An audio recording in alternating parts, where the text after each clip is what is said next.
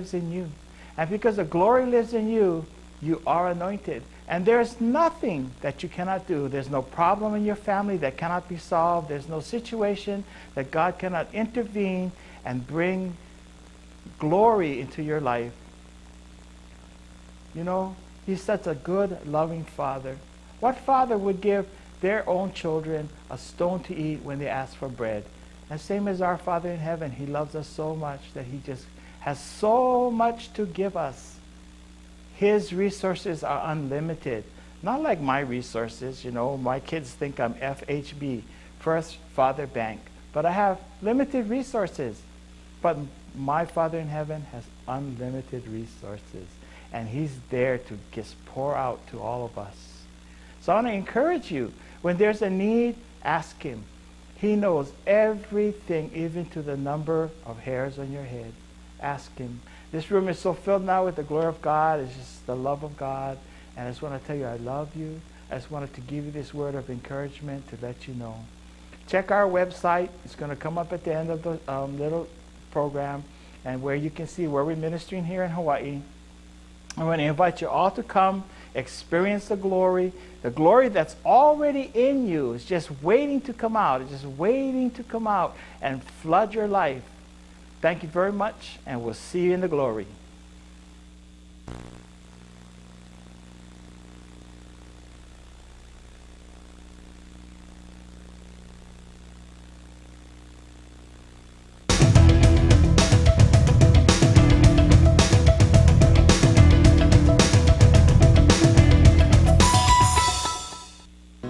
You're watching Focus 49 on Olelo Community Television.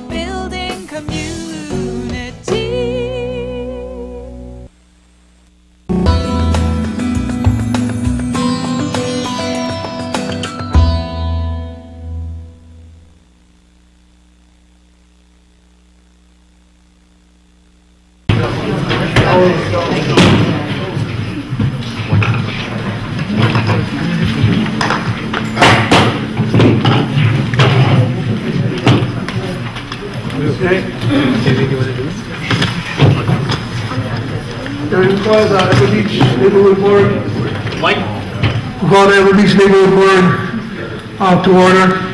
Um, I just want to let the community know and uh, not all the board members know, but last week I want to apologize to leaving. Um, I'm still not fully recovered. Um, Been under the doctor's care the last three months. I just want to thank you all, the community members and board members that called and, and, and the prayers and the love that you um, gave up to me and I appreciate it. And um, like I said, I apologize for leaving abruptly and, uh, well, let's go on. Thank you guys for the prayers. Okay, um, let's go with the introduction, starting with you, Tom. Aloha, Tom Burke.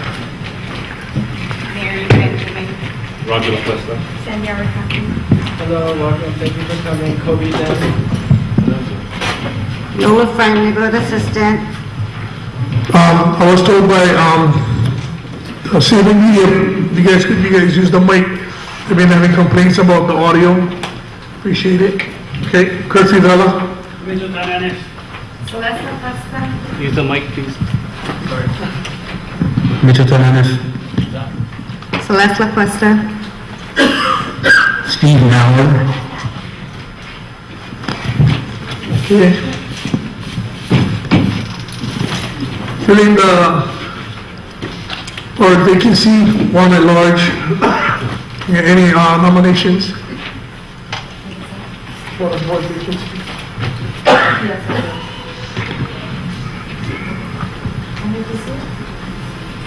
is Hen- Henry Chang Rose here? I guess he's not here. How about Ariel?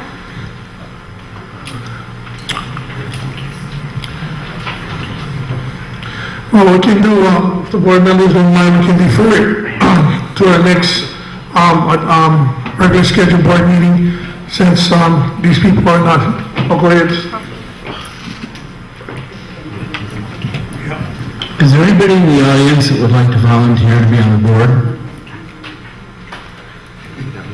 Chickens. Thank you. Okay, at this time, we're gonna close the, um, the, I I guess, Excuse me, Chair. yes, We still can vote on uh, Henry or Ariel tonight? They're not present. Or they gotta be present?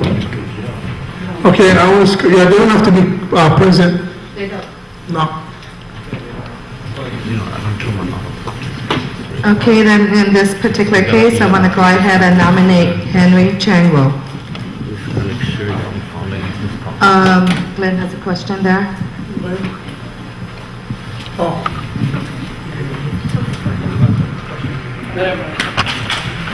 okay, go ahead. Mr. Chair, uh, members of the board, um, it- it'd probably be demeaning to me, but, but I haven't uh, sat on the board since the, the the late 80s, or the middle 80s.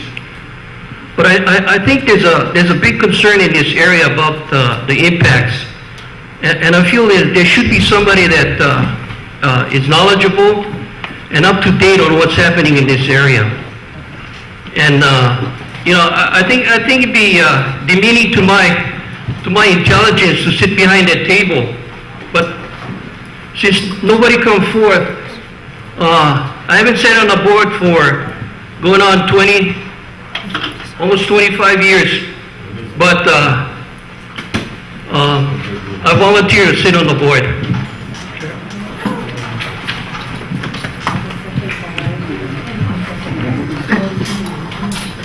Okay,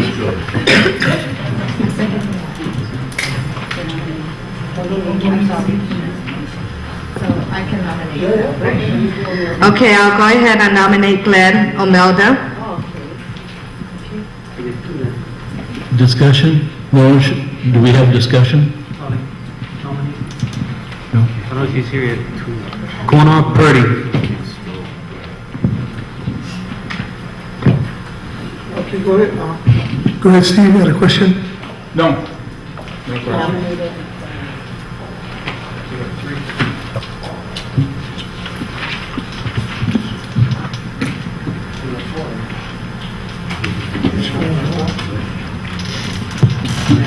Chair, Chair Salilla, can I move to close the nominations? Okay, so moved. Okay, we're closing the nominations.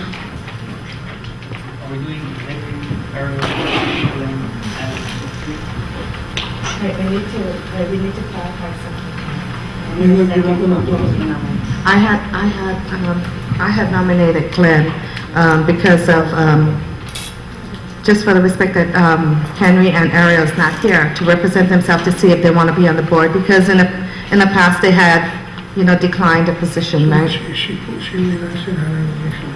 So you put in those nominations. I'm pulling those nominations, um, Henry and, Henry Changrel and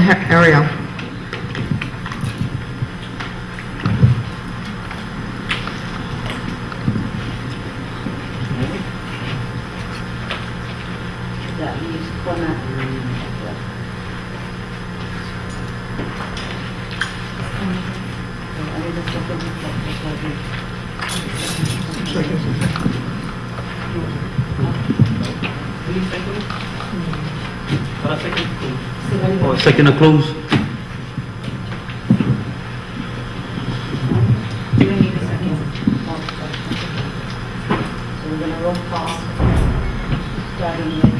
Glenn.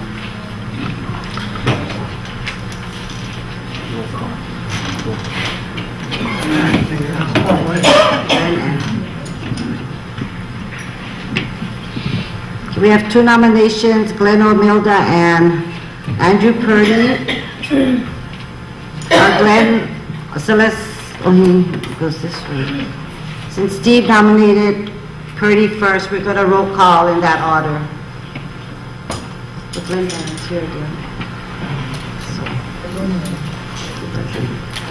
Okay, roll call, Sandra Arakaki. Andrew Purdy. And then we'll roll call. Don't they have to uh, present themselves and, and declare on why they want to be on the board? Point of clarification, Mr. Chair. You know, um, it it comes to my attention that, you know, you guys are looking for volunteers, and the people that you guys nominated are not here. So you know what? If you're gonna vote on somebody that's not here, I withdraw my name. If you're gonna do it in, in that order, you know, you know, come on, let, let's, uh, That's right.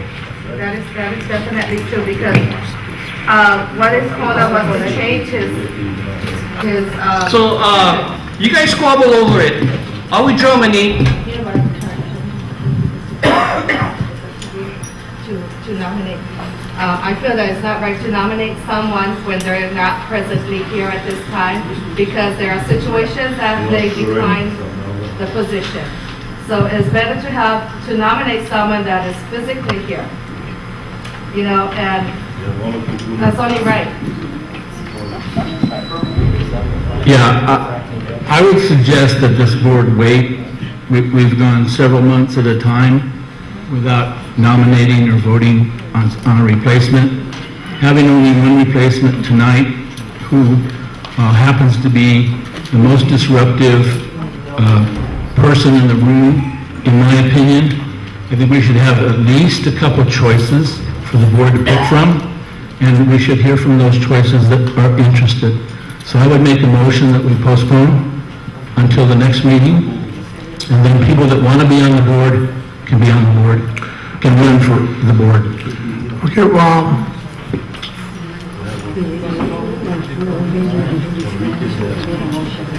You need a motion? Anybody second? Second? These are to- Chair. Motion on the table. Okay, hold on, Mr. Mulder, there's a motion on the table, In and, the um, process of being open sorry, uh, and Mr. fair, Mulder, can you please sit down, He wasn't recognized, we're, in the we're process of voting on the being open and fair, I think Mr. Mulder, you're out of order, can you please sit down? Thank you. Okay, um, Steve, one more time, can you say the motion, please? Sure, I, I think there should be more people here. Uh, we've nominated people that aren't here, give them an opportunity to consider, um, running for the board. People have nominated people other than Glenn, and I think it would be, my own personal opinion, it'd be a travesty to have no one to vote on except for Glenn. Yeah. So we need more people here that would like to be on, and we need to hear from them. So I- my motion is to to have it at the next board meeting.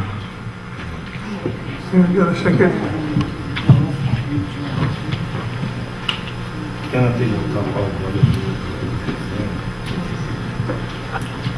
Go ahead, um, Tom.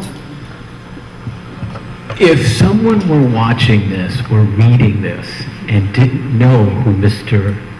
Community Member was and was faceless and saw how this membership approached this, because the rules provide just that, rules, and there is a process to engage them.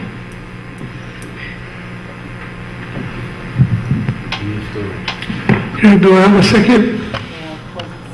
Okay. Yes. Okay, roll call.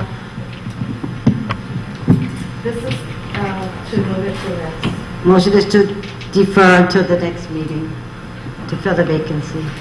Okay, Sandra Akaki? Tom Berg? Abstain. Mary Chanel Benjamin? Abstain. Kurt Favela? Yes. Steve Nauer? Yes. Celeste LaQuesta? Abstain. Roger LaQuesta? Abstain. Kobe Lynn? Yes. Mitchell Hernandez? Vote, motion fails, five ayes, no nays, and four abstentions. Chair, may you speak, please? Go ahead. I think I'm confused with the nominations. There were four nominations? No, Celeste, Celeste, uh, pulled two. uh, Or two or three? Is Kona here? Yeah, I was, uh, told by Vice Pinion. Okay, I, If, I think if, so f- three got pulled from the nominations and that left only Mr. Omelda? Imelda, yes, correct. Do the board wish to vote him on by acclamation since it's just one nomination? Um, And can, one let Lola Cool clarify what she just told me earlier when the nominations was made for the first two that wasn't here. I had asked her earlier, so she explains. You said they don't have to be present. There's no reason why we nominate, Yeah, they don't have to, but they're preferring to have next meeting, everyone present. But the vote failed. Yeah. So can I move to accept his nomination by acclamation? Okay, but there's, that's not only, um, him over there, I wanna try to explain that Nola was trying to explain earlier when I told her that these gentlemen weren't here. She said that they didn't have to be here. So we was continuing on until um, Mr. Omilda had stepped up, and then she had recount her two, okay, hold on. Okay, go ahead, uh, Steve. Yeah, it, it's, it's my taking, and I could be wrong, it's my take of the plan that it's a simple majority that rules to defer. You- To take it off in, in general, you might have to have like a two-thirds or something like that. But it's a simple majority to defer something like this.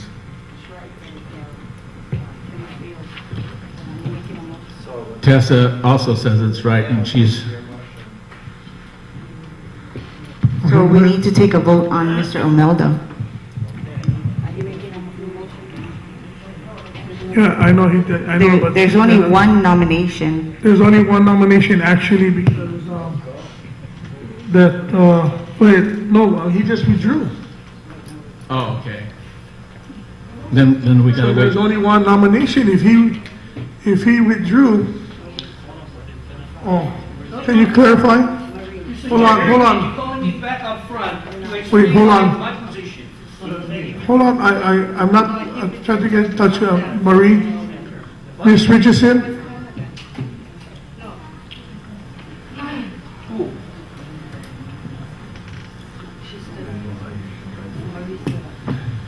Point of order, Are you addressing me, Mr. Chair? No, not right now, we're in discussion. point of order.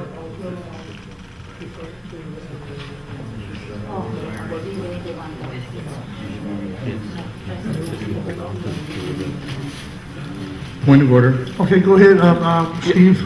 On my motion, my motion carried by majority, and so it should be deferred. And Tess is back there in case you want to ask her, and Noah can check if she, if she would like to. A deferment, defer of a subject is, is simple majority. Um, excuse me, I think the motion failed, so we should vote on Glenn, since he's the only, he's the only one. We gotta vote on it, but it failed to defer.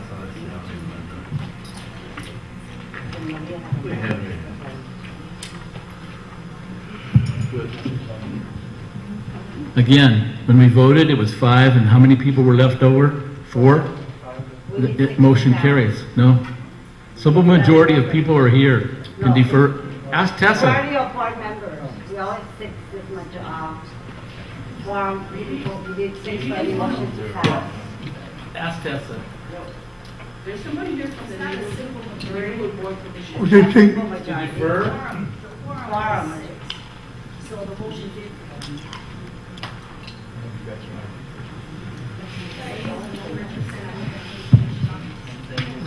Can I move to nominate and vote on Glenn? I second.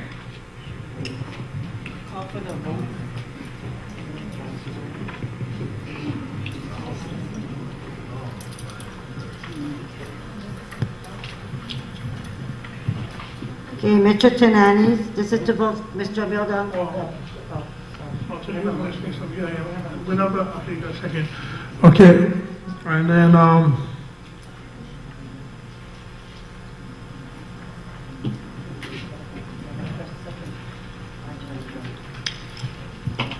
okay, I understand that, but what the clarification was earlier, regardless of the person's presence, I mean, if it's only gonna be, I mean, it's already adamant that they wanna take the vote.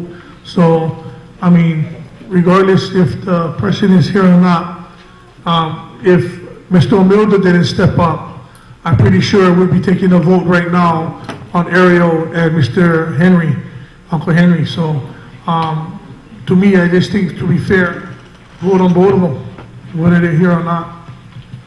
That's what you told me earlier. Well, I think we should vote on Glenn, since Glenn is here, let's vote on Glenn.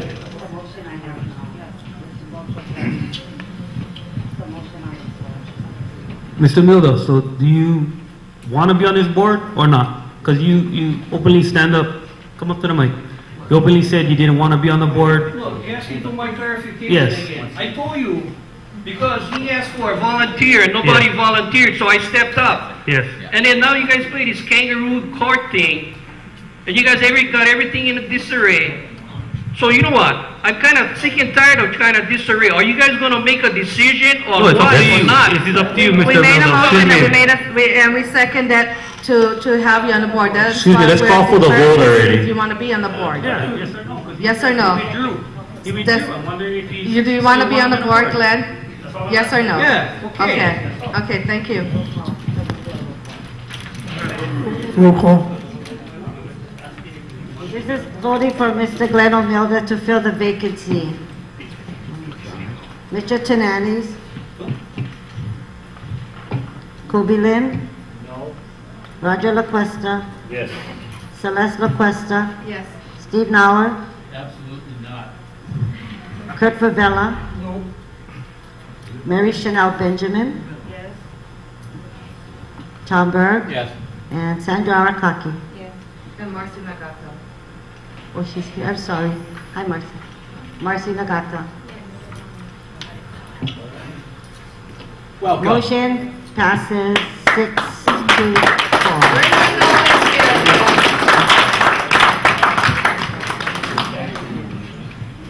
Thank you. All those on the right, thank you. And the left. And the Lord. And the Lord. Okay, can we get the Honolulu Fire Department?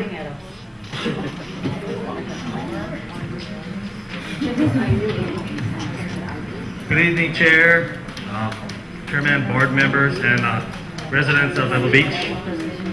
Here are the statistics for the month of October 2009. For fires, we had one structure, two wildland fires, eight rubbish, one vehicle fire. Emergencies, we had 80 medical calls, one search and rescue, and 29 miscellaneous. Our fire safety tip for this month is this holiday season, consider a fire-resistant artificial Christmas tree. If you purchase a natural tree, choose one as fresh as possible. Keep it hydrated and keep it away from heat sources in the house. Use non-combustible materials for decorations. Choose only Underwriters Laboratory-approved electrical decorations and follow manufacturer's instructions for installation and load. Do not overload extension cords. Holiday family gatherings often include extensive food preparation and visiting guests. As a significant portion of home fires originate in the kitchen, do not leave cooking unattended.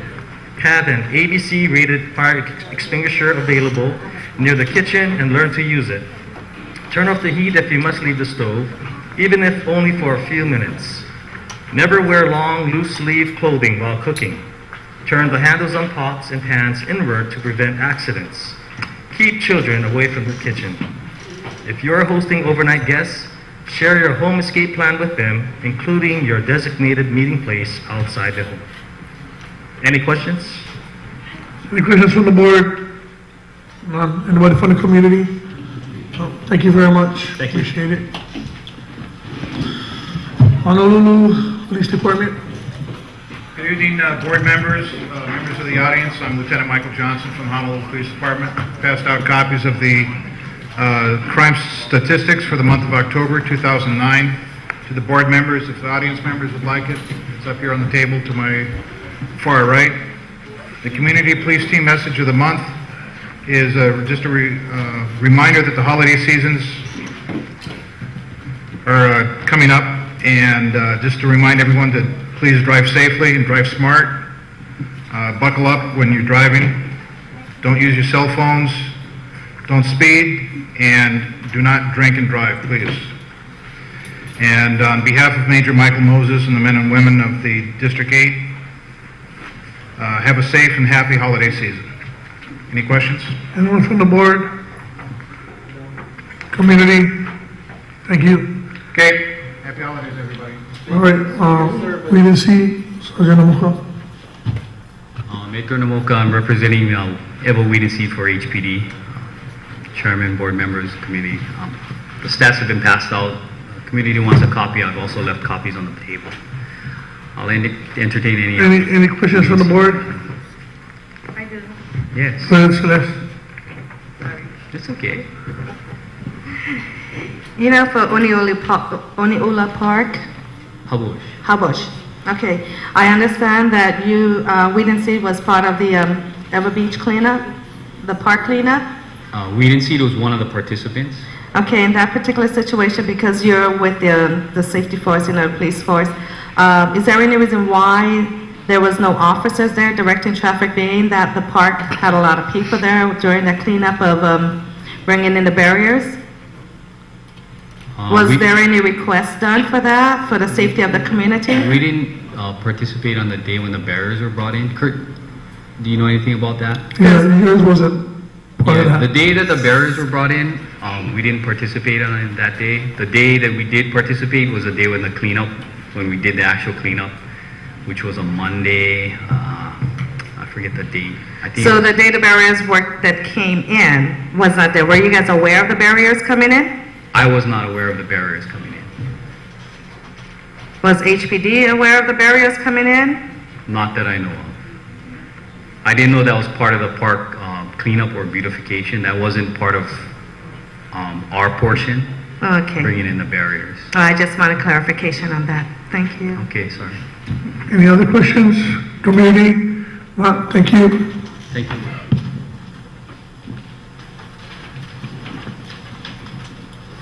We have our mayor's representative. Morning, Board. My name is Ross Tanimoto. I'm the mayor's representative. Uh, A lot of agendas tonight.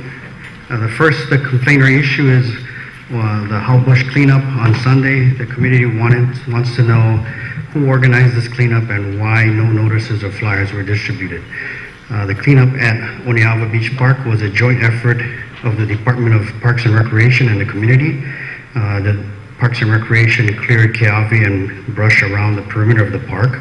The community effort led by Kurt Favela involved placement of concrete barriers and clearing additional bush. The concrete barriers were authorized by the Parks and Rec due to vehicles damaging the post and chain barriers when driving on the playing fields and damaging the irrigation systems and field. There are openings between the concrete barriers where existing openings in the chain barriers were.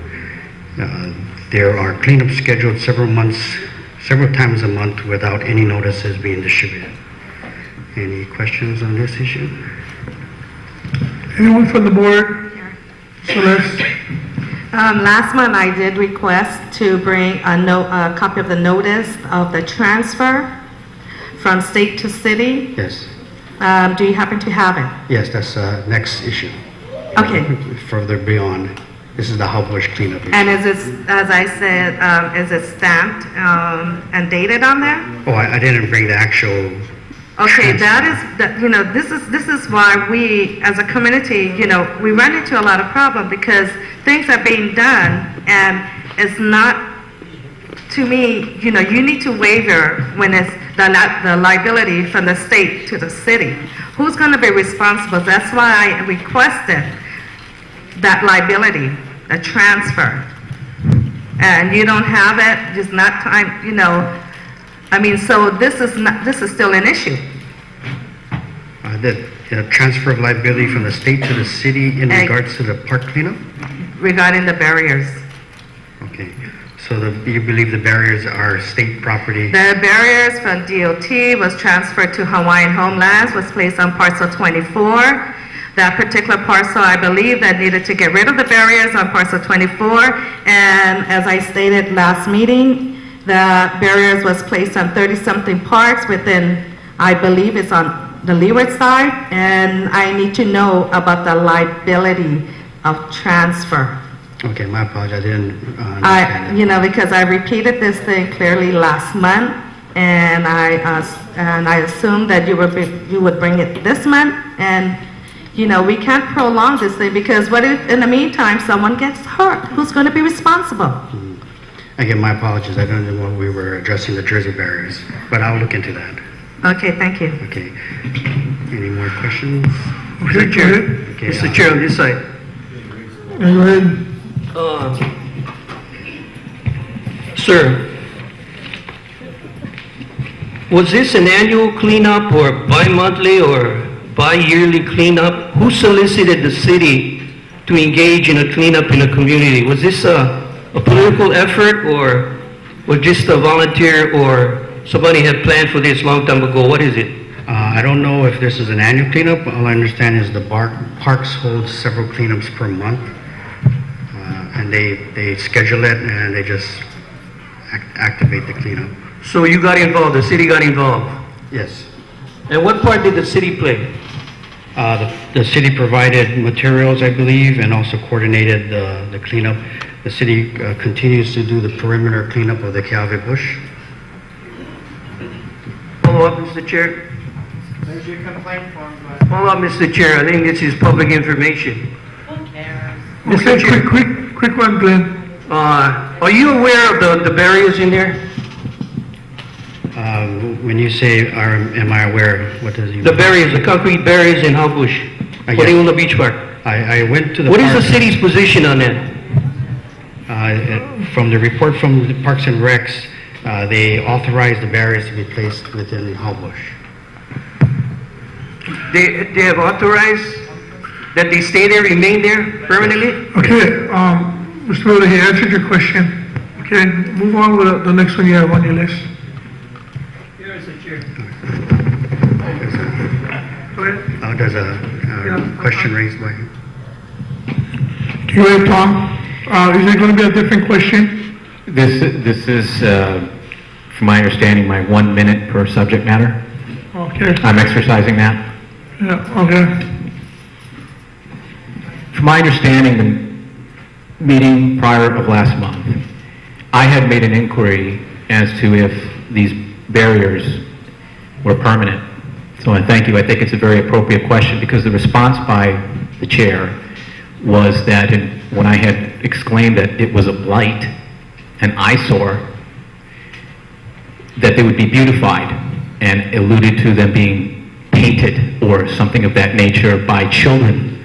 And I don't know where the children and who would be painting what, but A, are you aware of that, that they would be beautified in any such manner? And the point that I, reason I'm speaking is, is that I believe the chair is chair of Parks Committee, and at each and every instance of something of this magnitude goes through a committee level where everyone here can weigh in. Nobody got to weigh in, and I want that in the minutes. Nobody in this community and board got to weigh in on this. It was skirted. All right, thank you, Tom. Go. Okay, item number two, Kapolei Parkway, Renton Road, city or state overgrown grass needs trimming. Uh, The Parkway, Kapolei Parkway, Renton Road was a project done by DDC and is scheduled to turn over to DFM in the, in the near future. Uh, Once it is turned over, DFM will effect maintenance. I have no date on when they're gonna do the turn, the transfer. Any questions? Yes, ma'am. The Pohakupuna Road, when is it going to be repaired and resurfaced or resurfaced? I don't have that. let Okay, um, for that information, um, I think we need to research on the minutes. Joyce Olivera gave us information on the Pohakupuna situation, uh, when she was the rep for the mayor, um, was because of the pulling out of the, um, contractor. And right now, at the time, the city was looking into it, um, and tried to get it repaired. So there's no time limit, and right now, it's still on the, the investigation and looking at how they're gonna take care of that road. So that, that, yeah, that was something that, um, back in the day, Kel Sulioka brought up because he lived in that area. And uh, I'm pretty sure she answered the question on the Pohakupuna, uh, resurfacing, but we never have a timeline on that. Okay, item number three, uh, rubbish piled up outside of the Tsunami Center on Fort Weaver. Um, Fort Weaver Road is a state property, so therefore state has to address that issue. Move forward, excuse me. Uh, Speed limit sign request, um, no response from DTS at this time, so I imagine next month we'll be providing a response. Uh, Road name changes from Old Fort Weaver Road to Honolulu Road and Fort Weaver Road into Fort Weaver Highway. Um, Again, no response from DTS at this time. We'll bring an update next, next month. Uh, Number six, when other agencies transfer properties to the city, who is liable and how is the liability transfer carried out? Okay, uh, Not necessarily for the Jersey barriers, but usually when there is a transfer, the city doesn't take liability until the actual property is in our possession.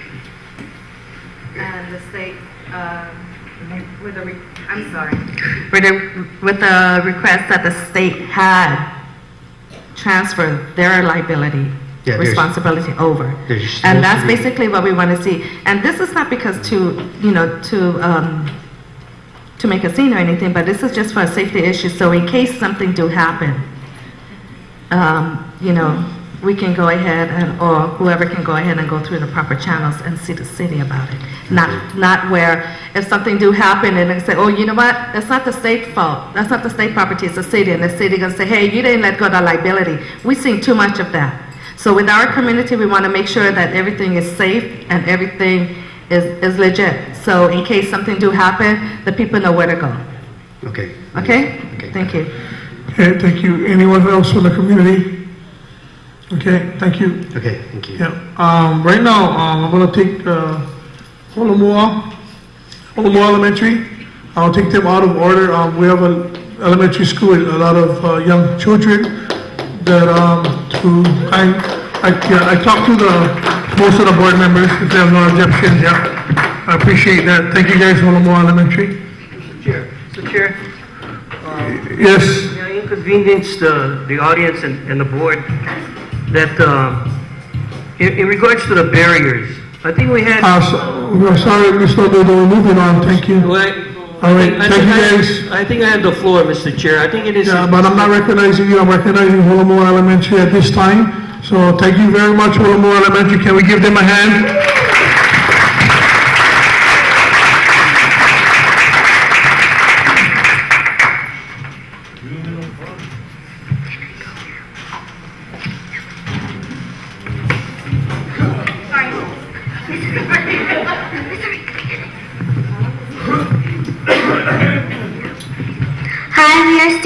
Holomua Elementary School, and we are here to share our solutions to Ewa Beach to Ewa Beach traffic. And here with us we have our principal, Mr. Peng. Hi, I'm Jocelyn from the Waterways Group. Hi, I'm Taryn from the Waterways Group. Hi, I'm Megan from the Waterways Group. Hi, I'm Samantha from the Waterways Group. Hi, I'm Keaton from the Railways Group. Hi, I'm Sophia from the Roadways Group. Hi, I'm Nina from the Roadways Group. Hi, I'm Brooke from the Roadways Group. Hi, I'm Kylie from the Airways Group. Hi, I'm Angela. I'm in Airways and we're going to show you a video.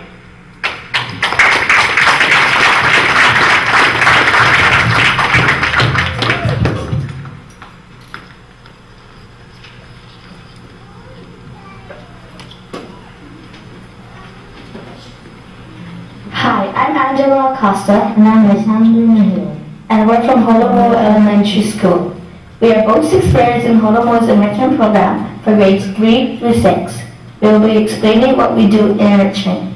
In enrichment, we enter the FIRST LEGO League competition, also known as FLL. There are two parts to FLL, research presentation and Lego robotics. There is a different topic every year. The topic this year is called Smart Roads. This challenge requires us to at transportation issues within our community. For the robotics portion, we build robots of Lego. We program our robots to complete missions related to transportation. The second part is our presentation. Based on a topic, we select a transportation issue in our Ewa Beach community. The problem we tackled this year is that there's too much traffic in Ewa Beach. Ewa Beach's growing population is leading to too many cars on the road. We found that adding more lanes is only a temporary solution because our population keeps growing. By 2023, the Department of Transportation predicts there will be 77,800 cars in the Beach, which will be an increase of over 22,000 cars. Looking, we have creative solutions to this problem. Let's hear from the waterways group. Hi, my name is Gabriel Aguilar, and our awesome traffic solution is Aquabot. Aquabot is a, is a robotic ferry that floats in the ocean. To conserve energy, she has solar panels and is powered by the sun. She has propellers that help her steer through the water. There are three main levels on Aquabot. Level 1 is for vehicles to drive straight onto Aquabot when she lowers her computerized ramp. The passengers go to level 2 to wait comfortably as they reach their destination. The top level, level 3, contains the brain from which to operate her. We will launch her from Ocean Point Marina instead of Kalaeloa Harbor. This way, people riding Aquabot will be going the opposite direction on Fort Weaver, therefore decreasing the amount of cars leaving Ewa Beach. With Aquabot's new technology and great location, we feel the Aquabot will be the best traffic solution that Ewa Beach ever had. Hello, it's me again. We've just, we've got just the right solution to our Ewa Beach traffic problem. It is a simple giant vacuum tube. We've named it the tube after the bus. The concept of this form of transportation will be similar to the pneumatic tubes that propel cylindrical containers through a network of tubes using compressed air. The City and County Department of Transportation is already working on a rail system which will hopefully reduce traffic on the H1 freeway going to town bound. However, we will still need to fight the Fort Weaver traffic to get to the rail station from Ewa Beach. The tube will take people to the rail transit stations, where passengers will be able to ride the rail into town. The tube will safely transport up to six people in a comfortable air-conditioned comfortable air-conditioned pods with cushions and will travel at speed of over 70 miles per hour. The location of the tube stations where passengers board the tube will be next to the bus stops, making it walking distance for people in our community. It will run underground so it won't affect traffic on the roads. We believe the tube is a way of the future that every nation will travel. It will be safe, fast, convenient, and affordable. Thank you, Rail Group. Here's a solution from our roadways group. Hi, my name is Nina Reed and I'm going to tell you the greatest, most awesome solution to the Ewa Beach traffic problem. Our solution to the Ewa Beach traffic is Roadibot. Roadibot is a portable robotic ramp that will extend over traffic accidents, allowing the vehicles to continue to flow. Now when an accident occurs, the police will contact Roadibot to come to the scene of the accident. Officers will be able to leave the cars in place and investigate while Roadibot extends its ramp over the accident. Roadibot is able to extend its ramp up to 50 yards, 150 feet, and hold the weight of one lane traffic. Roadibot runs on solar power, which is cost efficient and eco-friendly. Our solution will be a big help to the roadways, reducing increased traffic due to accidents. As our population is increasing in Ewa Beach, there will be more cars on the road, therefore more accidents. Roadibot is our eco-friendly and efficient solution. Thank you, Roadways Group. Last but not least, the Airways Group.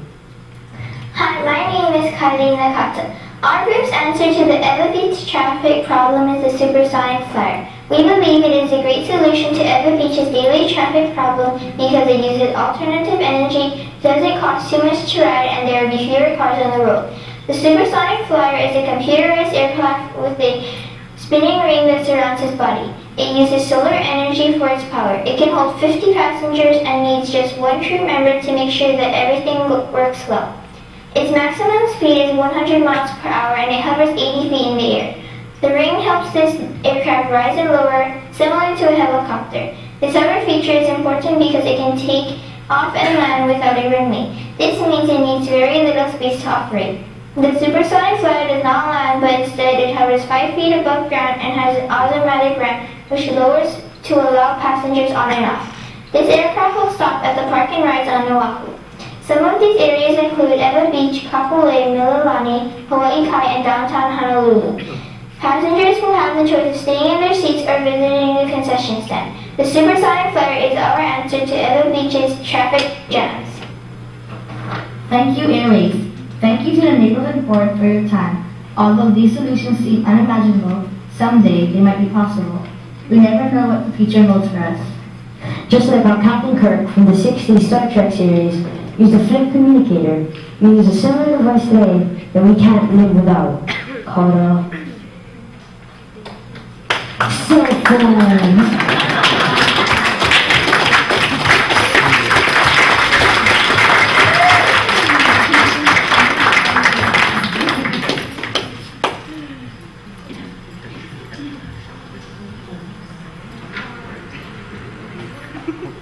Sorry.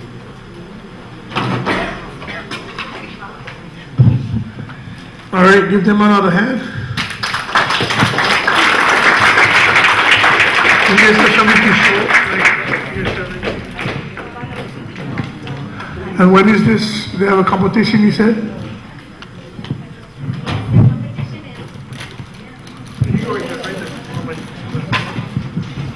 Want to the mic there?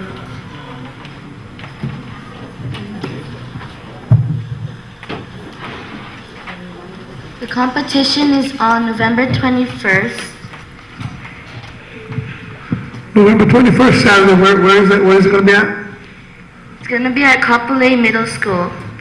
All right, and anyone can come to the event to support you guys? Can, can anybody come and watch you guys? Yes. All right, so, uh, Kapolei Middle School. Kapolei Middle School, what time? Twelve, twelve noon. Twelve noon, Saturday, twenty-first. Okay, go out there, support these kids, guys.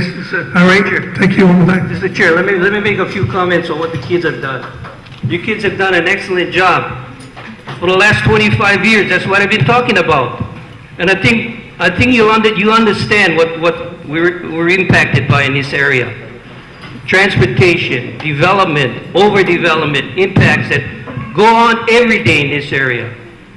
And, and I, I hope as you grow up, you can understand that, that this is going to be your way of life. How you address the issues in this area is going to be your way of life. Education is not, especially in, in, in, in your field of, of education, I think this energizes us that we understand that there's people that are going to benefit from this. And you got to take up the, you got to take up the, the, the issues like we have taken up the issues and go for it. Because as we look, this is going to be a big impact, how we live our, our lives in this area with jobs, with, with development. And don't forget, don't forget that this is the second city. And we must work towards a second city. Develop a second city. All the infrastructure within a second city. And then mindset about going back to town I think it's an old, old argument that we got to go back to town. No. As we live and work and play in this area, we got to make things that are going to continue our lifestyle and the quality, increase the quality of our lives. Thank you. Thank you, Tom.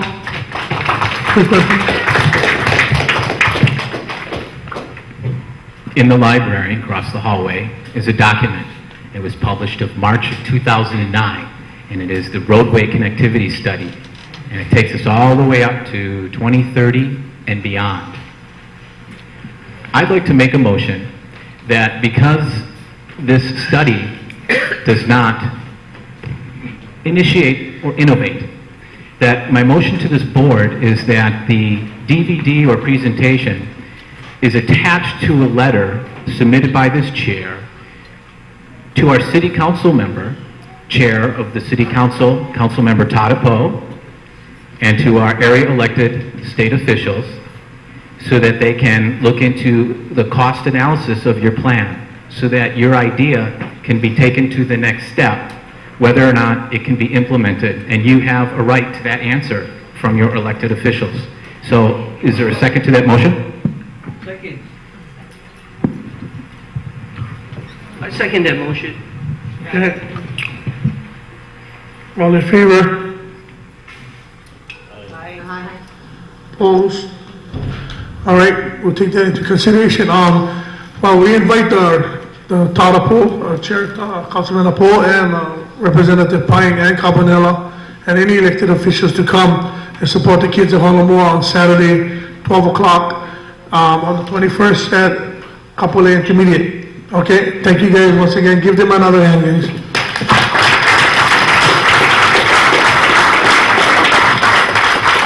Speaking about Chair, uh, Councilman Todd Apo, you're up.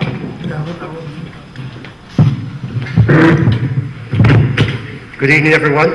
Um, Glad to be here, and obviously a tough act to follow with a lot of innovative ideas for some solutions. So I'll start with our transit project that we got going on. Um, Just to give everyone an update, again, you might have read about it, but so everyone's aware of what's going on. Uh, The council recently approved the programmatic agreement, which is really the document that requires the city uh, that talks about how the city has to deal with cultural sites that we may find along the transit line. And that was something that I believed was very important because obviously as we're doing this large-scale solution for transportation uh, solutions, we need to continue to be aware of our cultural sites, our iwi kupuna, and any other historical sites that may be along the line. So this document, which is signed with the FTA and other parties, uh, will really mandate on the city how we deal with those sites should we run across them and requires the city to do certain studies before the construction even starts in order to identify those locations. Uh, With that, the next step really is going to be the uh, issuance of the final EIS. That needs to be accepted both by the federal government and the state government. Uh, And then we need to get certain approvals by both of those governments before we can begin construction.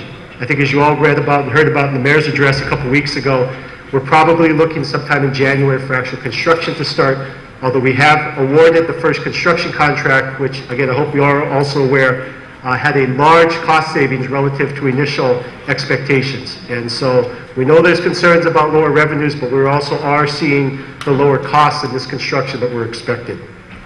Um, Thank you. Okay. Um, it's, it's in the newsletter as well, but we continue to discuss the bed and breakfast situation. I know there are some of those types of facilities here in Ewa Beach. I've heard from some, many constituents in this area. You know, it's always sort of written as a big Kailua North Shore issue, but I know along, not only in Ewa, but along the Leeward Coast, there are these issues as well. So the whole thing is we're trying to make sure that we have, one, a set of rules that make sense for these um, bed and breakfasts, and two, making sure that the department is going to actually enforce those rules. I think that's been a lot of the problem up till now is that there hasn't been the enforcement that's necessary. Um, going to try to keep this short because one, I know you guys got a bunch of things too. I hope everyone's aware there's a pretty big rainstorm out there, a lot of thunder and lightning out there, so hopefully everyone can take care as they leave here tonight. Last thing I just want to touch on, I was able to get updated on the DHHL projects, which are really happening right in between Kapolei and Ewa and along the north-south road. Uh, one thing I got updated on recently was the uh, remediation that they're doing for the pesticide site that's somewhat right in the middle of, of their development.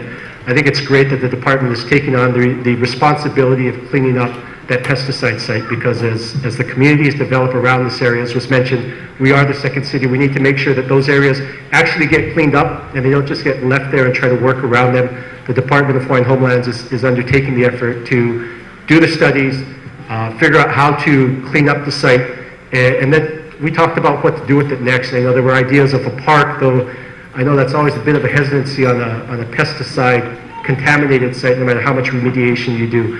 One thing I suggested to him, and it's, I think it's something we're going to continue to talk about, is to look at doing a sustainability project there. Perhaps it's not a big area, but photovoltaic, some smaller wind energy, to use that area as sort of a centerpiece of what you can do with a small area to help provide sustainable energy for the community around it. And so um, I know that's going to come up before this community and, and the community of Kapolei to talk about.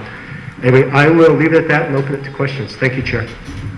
All right, any questions from the board? Question? I have about, Mr. Chair, I have about two or three questions there. You know, one question, Mr. Almeida. Apparently, there's a disconnect between um, the people that are in favor of the rail, like politicians and, and developers and, and people of interest that donate a lot of money to, to this project. But I think there's really a disconnect between the ordinary people, the grassroots people, and, and, and the, the people who are definitely in favor of rail. I think there's a, there's a disconnect. How do you feel about that, Councilman? Uh, I know there's a difference of opinion, I wouldn't call it a disconnect. I, I personally have sat through hours upon hours of hearing both sides of this story. I know it's been debated in nearly every neighborhood board. I think we all agree we're never going to have absolute consensus on this, uh, but hopefully your elected leaders, including myself, are taking that input and making decisions, and it's one of the reasons we put it on the ballot for the vote by the public last year. I'll follow up, Mr. Chair. The only reason why I ask is because traf, uh, uh, the rail would never decrease traffic, probably by 20% until the thing is fully built out. But on the other hand, I think you as a council person that represent from Ewa Beach all the way to, to uh, Makaha, I think the people that drive the freeway, that come out of this area, go to town, but there's nothing to sustain them in this area. They're going to keep jobs and, and keeping them from drive, driving into town. So I think really, uh, uh, and, and again, I got I got to emphasize that rail is not going to decrease traffic that much by two, two, What's 2030. You'd only need to decrease it by 20, 22 percent. So, so there's there's really no, not a basis. There, there's not a basis for rail. But we haven't come, we haven't heard in this community a presentation on rail. What's the question? The question is, what is, what are you doing, what are you doing to, to keep people, especially the, the areas that we, you represent, from driving the freeway every day? And rail is not the answer.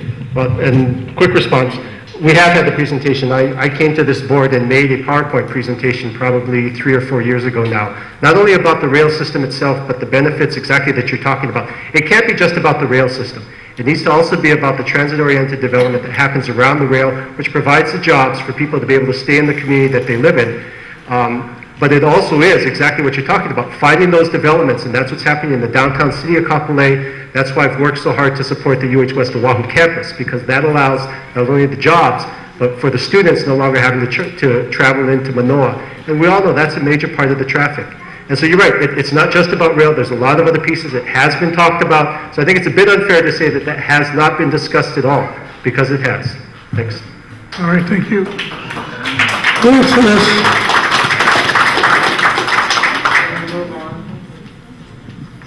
Hi, Todd. Good evening. What happened on the vote in the city council regarding the um, increase on property taxes? Let, let me rephrase this. There's no increase in property taxes yet. Okay, what, what the council decided on, The change of, your- you know, your vote and everything? what, what happened was we, the council created, at the request of the mayor, a homeowner's classification. So everyone, all you homeowners right now, when you, you apply for your homeowner classification, you get an $80,000 exemption.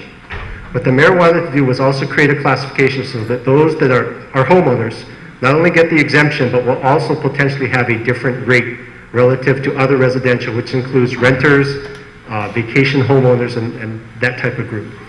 As you all know, I was not in support of that, and, th- but this is um, what they call enabling legislation. This does not actually implement that process.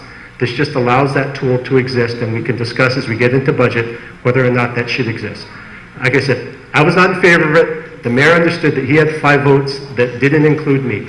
When that day came, he found out he lost a vote, and so came and asked me if I would vote to support it so that the discussion could continue into the budget cycle next year of whether or not to actually use that tool. I said, right now, as I told him, as I said that evening, I'm not in support of using that tool. Okay, But I also say, I don't know what our budget situation is going to be next year. It's going to be a tough one. We all see what the state's facing, the counties are always going to be a year behind. I hope we don't have to use it because I think there's some dangers with it. But not being able to stand there and say, I know we don't need it, because the mayor believed he needed it that strongly, I was willing to, to give him the option of having that tool so we could have the discussion down the road. All right, Tom, go ahead. Um, I heard a statement made regarding uh, Board Member Oamilda that uh, in response, he had multiple questions. He was just told that he could not provide multiple questions to you. I don't find anything on page one here.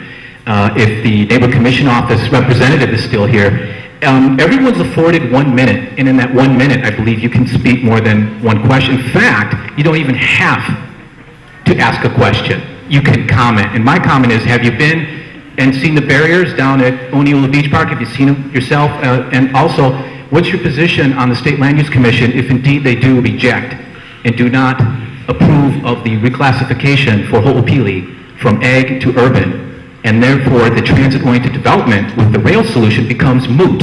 What will you do about it? Two diverse questions. One, I have not been down to see the barriers, and I've been out of town for about the last week and a half.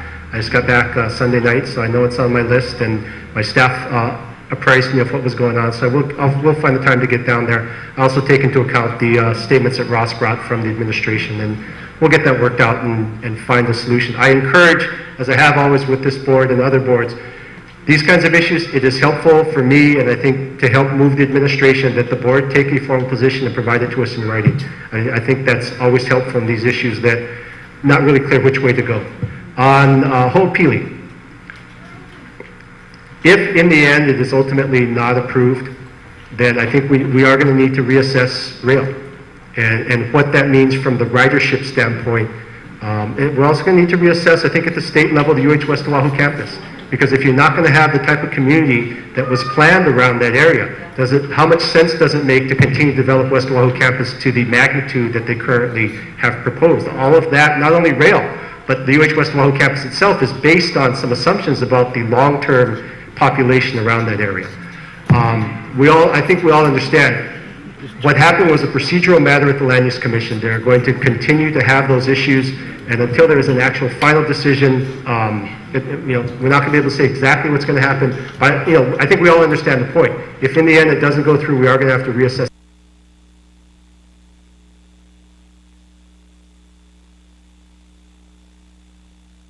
Development needs to be, you know, reallocated island-wide. Oh, Mr. Chair?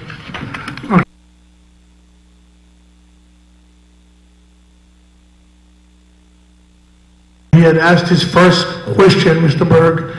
That's the reason why he couldn't ask two more after that. He had to wait to everyone go through their questions, and then he can follow up with his final question. So right now, Celeste, you had a question. Mr. Chair, point of order, you asked me to ask one question, uh, one question alone. Right, but you have one minute time, for one question. Okay, go ahead. Thank you, Tom. Tom, Tom, first of all, I want to, Todd, I'm sorry, that's Tom. Todd, I want to go ahead and um, um, thank your office for going, for researching about what we call amateur radio. One of our um, residents was put on, put on the side because he was using his amateur radio. I just wanted to make known that if you are unlicensed, if you're licensed to use an amateur radio, it is exempt from the law as a cell phone. So you are okay, isn't that right? Yeah. To Let me, ju- but let me just, so there's no confusion, those two-way, you know, what was Nextel and now various companies have the two-way cell phones, those are still cell phones. You actually have to have those amateur radio And license. and be licensed, okay? So don't think that because of that description, you can use your two-way cell phone. The police are still enforcing those as actual cell phones. Yeah, so, so just to let the public know that if you do have a license and you are in your car, you need to carry your license at all times which isn't that right, Todd? Yes. Okay, thank you. Okay, anyone from the community? Okay, go ahead, um, Scott, then followed by the two ladies in the back that was raising their hand. Thank you, Mr. Chair. My name is Scott Belford. I'm speaking on the topic of transit. Um, Councilmember Apo, when UH West Oahu was initially planned, was Ho'opili even a project on the horizon? I would question your logic in saying that the success of UH, UH West Oahu is dependent upon Ho'opili. Um, Maybe you can clarify whether or not they were both planned simultaneously. Secondly, with respect to the funding of transit, what is the status of the bond mechanism that we are needing to allow the city and county to use to fund transit? And last, what is your expectation for handling the looming city and county deficit next year? And do you expect an increase in property taxes? Um, I'll try to answer all these quickly. I, I hope what I said is the magnitude of the UH West Oahu campus as it is planned now is based on the assumptions, including Ho'opili. Obviously, when the original campus was planned and talked about being out here, and again, depends how far back you go, Ho'opili, the development of that area has been on the other DP for a long time. I think as you know, as a lot of us know. The idea of a UH West Oahu campus what came before that. So it's not a matter of whether they should do anything at all, it's a matter of what magnitude they should do the West Oahu campus at based on that population feature. The bond issuance for rail, uh, the, what I had understood from the department most recently is their expectation is we would not do the bond issuance until after the full funding grant agreement is completed with the federal government, so that we know there's federal funds going to be coming before we do the bond issuance. Um, Last one was, sorry, remind me. Looming budget deficit. Budget deficit. Will I property to tax. forget, sorry. Um, Yeah, I, I think, as I think we're seeing at the state level, everyone's gonna have to pitch in. I, I'm definitely not gonna stand here and say that real property tax rates are not going to go up, because I think we all know between June of last year and June of this year, everyone's, basically everyone's, um, very general statement, everyone's valuations have gone down. And so I don't believe that we're going to be able to keep rates the same, and that's one of the dangers of the homeowners classification if we actually implement it, is that those pressures get shifted to different places. So I, I think the first focus continues to have to be cutting government spending, finding out, deciding what are our true core services of the city, funding those, knowing what we need beyond that, and not trying to focus on how much revenue do we have, let's figure out how to spend it. Let's figure out what we need to spend first. So I guess I would ask, hopefully in the future, now, I know I asked four years ago if it would be a mistake for the city and county to build a budget based on overly inflated property values. Now we are reaping that, the consequences of that decision. In the future, do you think that we might make decisions not to build budget forecasts around overly inflated property values and maybe in fact consider the incremental tax basis on an annual 10, 15 percent? And and I hear what you're saying, but I guess the point I would make is we have lowered, uh, especially the residential real property tax rates year after year because of those overinflated valuations. So I think we have taken that into effect. Whether we've carved enough and been as core as, as we need to be, I don't know. But as I've asked this board and other communities as well, if you are seeing the things out there in city services that you think we don't need to do, let us know. Right? I mean, because nobody wants to say we're going to cut your park service. No one wants to say we're not going to let you get go get your driver's license. You know, three days a week instead of five days a week. That's part of the discussion that neighborhood boards, as advisory to the city, need to be involved in, is where can we cut? And that's, you know, this, as I've said before, this is the time, during the off-budget season, this is the time to have those discussions and let us know so we can start factoring them in when we get the budget starting in March. Thank you. Thank you. Okay, Glenn?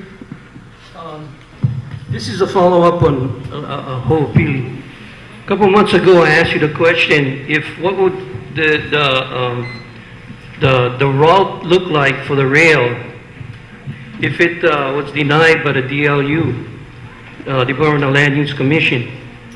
Um, And you said that you guys haven't taken into consideration. But now, uh, uh, you know, they have taken a stand and and it's been denied uh, the request to rezone that Ho'opili uh, parcel. And um, I I think, I think you got to take a real deep consideration on this, Councilman, that, uh, you know, the people is not, is not really fond of, of losing up prime ag- agricultural land. So I, I think you, you got to, you know, bite the bullet somehow and take a look of an alternate route if you guys wish to have rail for this area. And uh, uh, Ho'opili is going to stay in ag, wh- whether you like it or not, and, and this is the favor of the community. And the question? The question is, you still haven't, you still haven't uh, given me an answer as to looking for an alternate route for, for the potential building of the rail. And again, quick response, because I know I've said this before to you, exactly your question is, I'm not convinced that we would necessarily change the route, even if Ho'opili didn't exist. And the main reason is, is that the connection of university campuses is one of the key ridership elements for, for rail systems. And You look at that nationwide, I mean, San Diego, um, Salt Lake City, all make sure that they connect the university campuses. It's something, again, that's been talked about. How do we connect not only UH West Oahu campus, but the community colleges, Leeward Community College, Honolulu Community College, all the way into UH Manoa? And that's, that's important now. So I'm not saying that it won't change, but I think that factor needs, will be factored in whether or not Ho'opili exists. Just to address, because I've said this before I want to put it out as well, in regards to ag land, in regards to prime ag land, there is an abundance of excess prime ag land throughout the central core and north shore.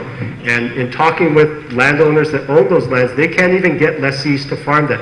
I understand we'd all like to be farming all our land and sustainable, but we also need to balance what our future is. And so again, it's not something I know you and I are going to agree on, and it's something that's a great discussion amongst many people, but that's where the That's a fallacy, decision, Mr. Chair. the decision's going to be with the Planning Commission. If you create any Thank you, guys. people's Thank you, mind, Ben. that- that's, uh, there's other Um, prime the- land. The lady in the back, There's not. come, come forward, please, the two ladies right there, raising your hand, you, um, side, and the other lady. Come to the mic. The other lady was raising her hand too, come, come up, stand in line. Thank you, please. Aloha board, thank you chair, welcome. Um, hello everybody, my name is Zaya Mosa. Um, you know, I'm just here because I'm a little disappointed with what's going on. It's pretty sad that we have amazing people, you know, from the state and from the city, and they're here bringing this information for us. Basically, what you're doing here as a board, you sit there as an advisory, and what you do is you sit and you listen, you hear out the community's voice. These are the people that come if they have any concern in regard to what's happening in a community, what's happening around where they live. They bring it to you, and what you do is you connect us, you connect the community to the agency or to the proper, you know, channel where they need to go to. But you're sitting here attacking them. It's really sad. It's really sad. You know, you guys are amazing leaders. However, you know, there's too many leaders on this board. There's no honor here. We have one chair, and yet you guys are battling. There's this power of struggle that's going on in this meeting. You guys need to stop it. I think enough is enough. We're sick and tired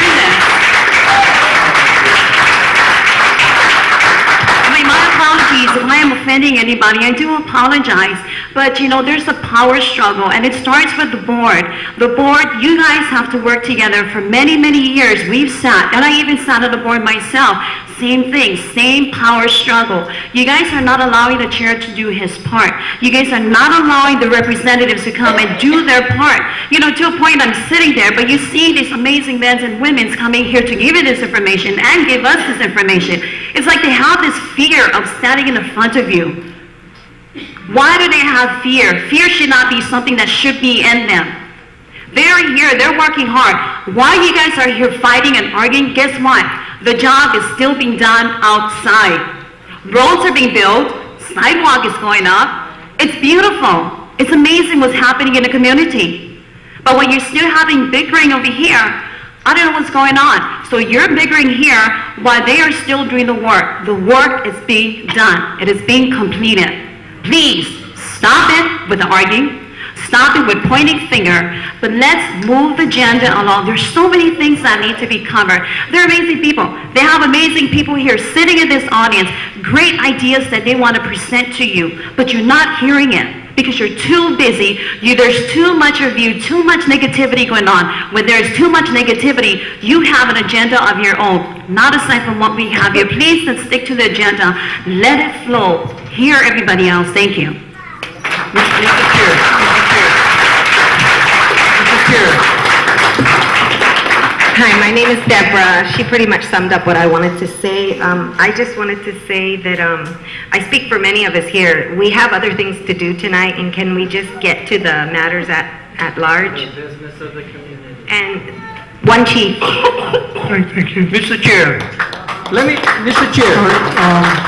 Mr. Chair. Okay, hold on, hold on. One quick one there, Scott. Thank you. Um, I'm now speaking on the topic of what we expect from the board. As a point of order, I will A, uh, ask this chair to please remind the audience we are to address comments to the chair consistent with Robert's rules. Secondly, if we are to expect board members and/or select audience members to be held to a one-minute time standard, as much as I love all community input and wish we had a limitless time standard, I would appreciate equal enforcement. We just went well over two minutes. Um, maybe perhaps this shared a particular bias. So I would only say that on this topic, I personally appreciate and respect the fact that half of Hawaii is not registered to vote. Of the registered voters, half show up to vote. That means 75% of you, chances are, given up and stopped caring. And the voice of some people on this board is in fact that frustrated, disgruntled voice that we wish would be represented and we wish we'd show up at the polls. And I appreciate very much the opportunity this chair provides members who are elected by the community to speak on behalf of the community with all perspectives, positive, negative, proactive, reactive, being equally valid. Thank you. Okay, thank you. Okay, go ahead, uh, Mr. Mildo. Mr. Chair, the purpose of this board, Oh, sorry, I thought you had a question for me. no, no, no, uh, the comment, the comment and a Okay, question. hold- we we still have Todd Apo here. Um, uh, Mr. uh, Steve, you had something for Mr. Apo? Okay, one more quick one, please.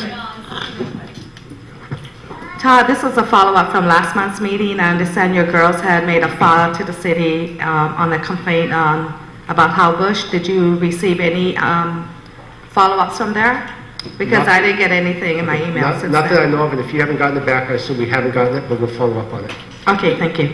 Okay, uh, sorry, uh, Mr. uh, Councilman Apo, I have an invitation here for you.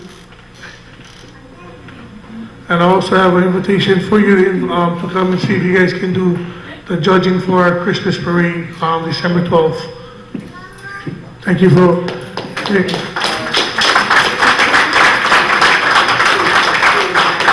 Can we have, uh, Water, Kelly, sorry I took you out of order. Uh, Good evening, Chair Favela, board members, and Ewa Ohana. My name is Keone Matos, and I'll be giving the Board of Water Supplies report for the month of November. So firstly, there were um, no main breaks in the month of October. So uh, we want to take this time to share our general water announcement, and we'll be talking about um, fire hydrants because they play a very important part uh, in our, in the Board of Water Supplies efforts to provide a safe and dependable water service. So hydrants are not only for fire protection, but we also use them to provide water for contractors who are working on construction projects, to use them for street sanitation and also other uses. Um, BWS is installed and is responsible for the maintenance of more than 20,000 fire hydrants on the island of Oahu. And standard maintenance includes flushing, lubricating, um, valve inspection, painting, and assigning hydrant numbers. So the BWS also makes certain that the water that's coming out of the hydrant is at a sufficient water pressure to fight fires. Uh, So these hydrants are maintained every 18 months, and we make sure we take good care of them. And also, only the BWS and the fire department employees are allowed to take water from a fire hydrant unless authorized by the BWS. Uh, If you need more information, it's on our website, uh, www.boardofwatersupply.com. And to report a malfunctioning hydrant, uh, you can call 748-5000. And lastly, we wanted to talk about our 2009-2010 Xeriscape Garden Workshop schedule.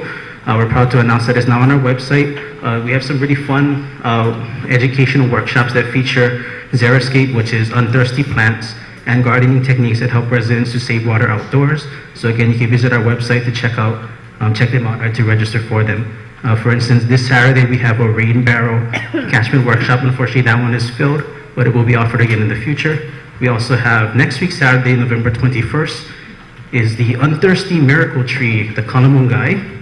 And lastly, uh, Xeriscape Holiday Wreath, which is on November 28th and December 25th. And the last thing is, we have, we're very happy to um, show our uh, 2010 water conservation calendar. Unfortunately, I only have a few copies, but I'll bring some more again next, um, at the next meeting, or you can call the Board of Water Supply at 748-5000 to get your own copy. Uh, If you have any questions? All right, Amy, go ahead. Chair, please.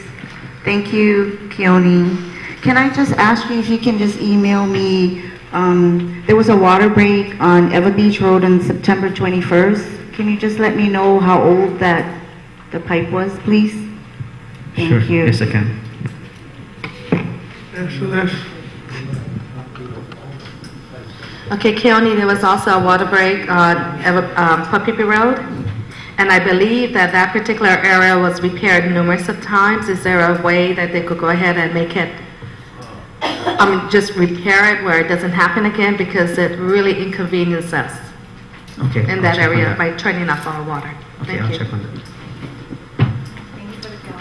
all right, anyone for the community? Thank you. Okay.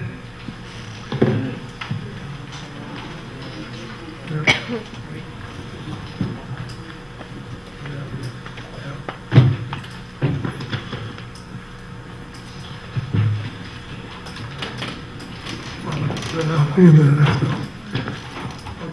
um.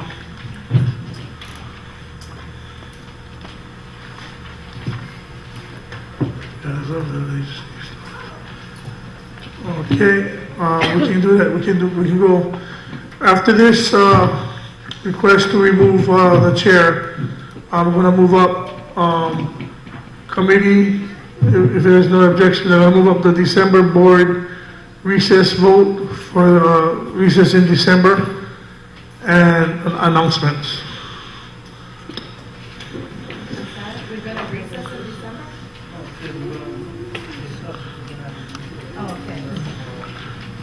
And the, the reason for the recess is because of the funding for the filming.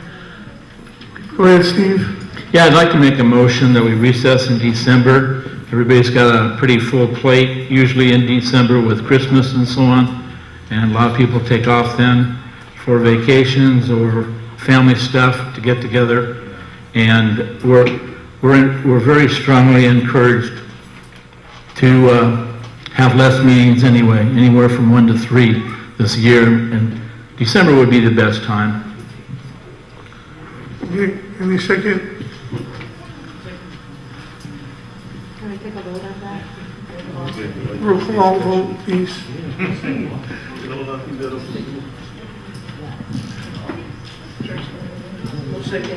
Uh, We have a motion by Steve, seconded by Mitchell for uh, requesting the board recess in December. So we're going to do a roll call vote.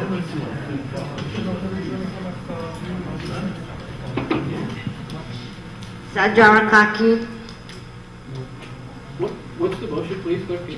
Board recess in December? And an aye vote is to recess. Yes, because there won't be enough funding to... Well, is, is there a discussion first before we vote? I didn't have an opportunity. Okay, go discussion. Yeah, my, my discussion is, is, you know, a lot of boards don't pay for filming. To opt out because there's not funding for film, We have the meeting, do the people's business, we're backlogged, we're behind. And so we can still conduct the meeting. Some boards put meeting minutes in newspapers. They ask their local publications if they can do it. Kapolei does it.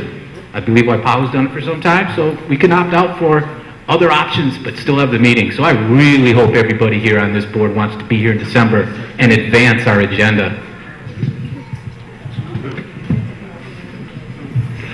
Okay, anyone call for a question? No.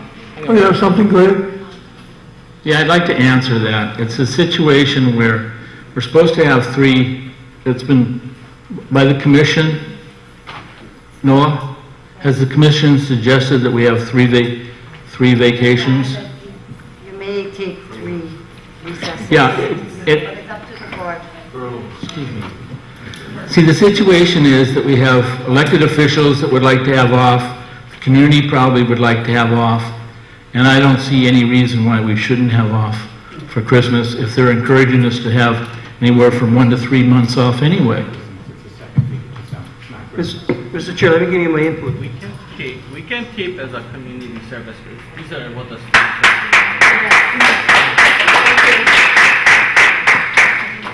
Okay. Okay. Withdraw your motion or what? We will follow what the board, if there's a meeting, we will be there. All right, okay, uh, call for the question. Wait, wait, let me, let me give you my input. Everybody else is giving. Okay, go ahead. Let, let- let me, let me say this. I think we're about the people's business. I mean, who, who's the loser in- if we take a day off? It's not us, it's you guys. Because yet, we don't, we don't get to see what the, what the problems are in the community. I mean, we, you guys are losers, not us. And I, and I suggest that we, we continue to have a meeting in December.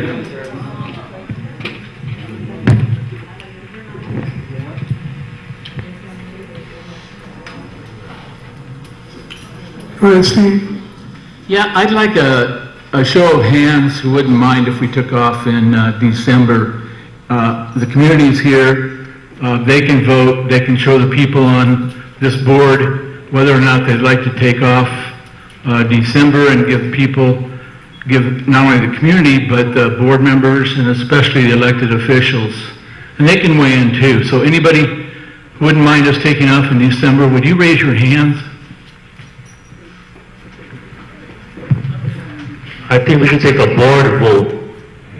How we supposed to Okay, be. this is a board issue. There shouldn't be a community issue because we're the one that has to be No, we never said that, Not the community. point of order. Let's call for the vote. So now let's call for the Uh, vote here. Hold on, wait, hold on. Steve never said that the vote count.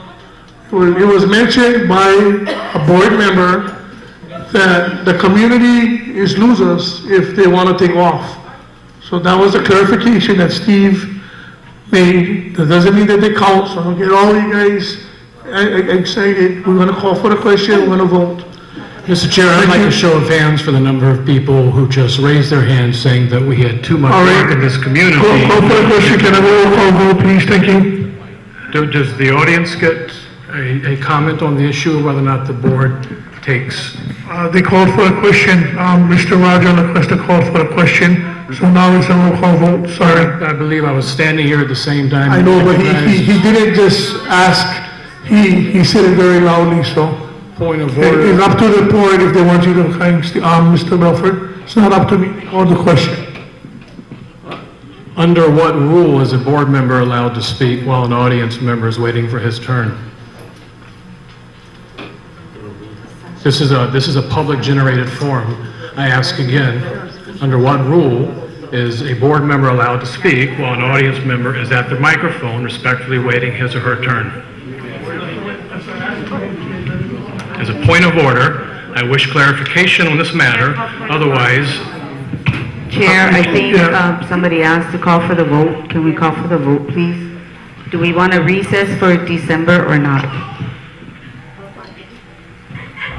Perhaps a board member would ask the same question then. if I would Sandra not be recognized. Anaki? If you want to. So, so point of order, under what rules is a board member allowed to speak, but not an audience member? Tom Burke? And This is a question directed at the board, not at the audience, I believe. Mr. Byrd? Yeah. Kurt? Kurt? You're voting if you want, like to recess in December or not?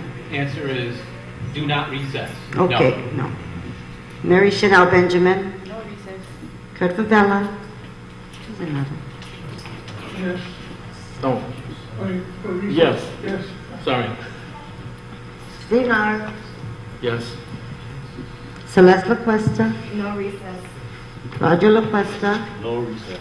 Kobe Lynn? Yes. Marcian Nagata? I mean, no. Richard Tenani? And Mr. Glenn Omilda? No recess. Motion passes eight to three. So the board will not recess in December. We will do it pro bono if it's a budget issue. So we have enough board members over here that voted yes, so they probably could chip in a few bucks. All right, moving on. Okay, can we have, uh, what announcements, huh?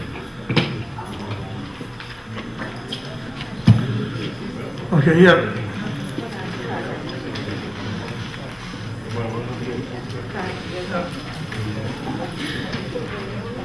Yeah, I moved up the, I moved up the December board recess, and we voted on that, and I'm gonna move up some announcements, and then we're gonna go back into the regular agenda. So we can get some of the announcements out. Go.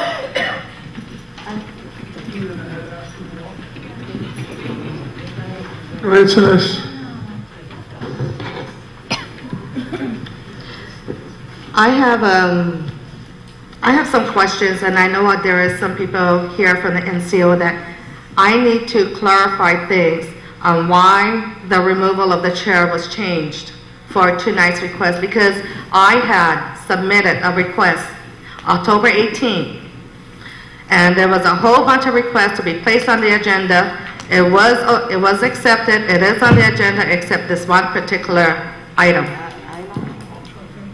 Um, could someone come here and explain, because I'm hearing too many things that I, it's supposed to be handwritten, it's supposed to be walked into NCO physically, or it's supposed to have been directly to our chair, our co-chair, so I need to clarify something because I feel that I had done something correct.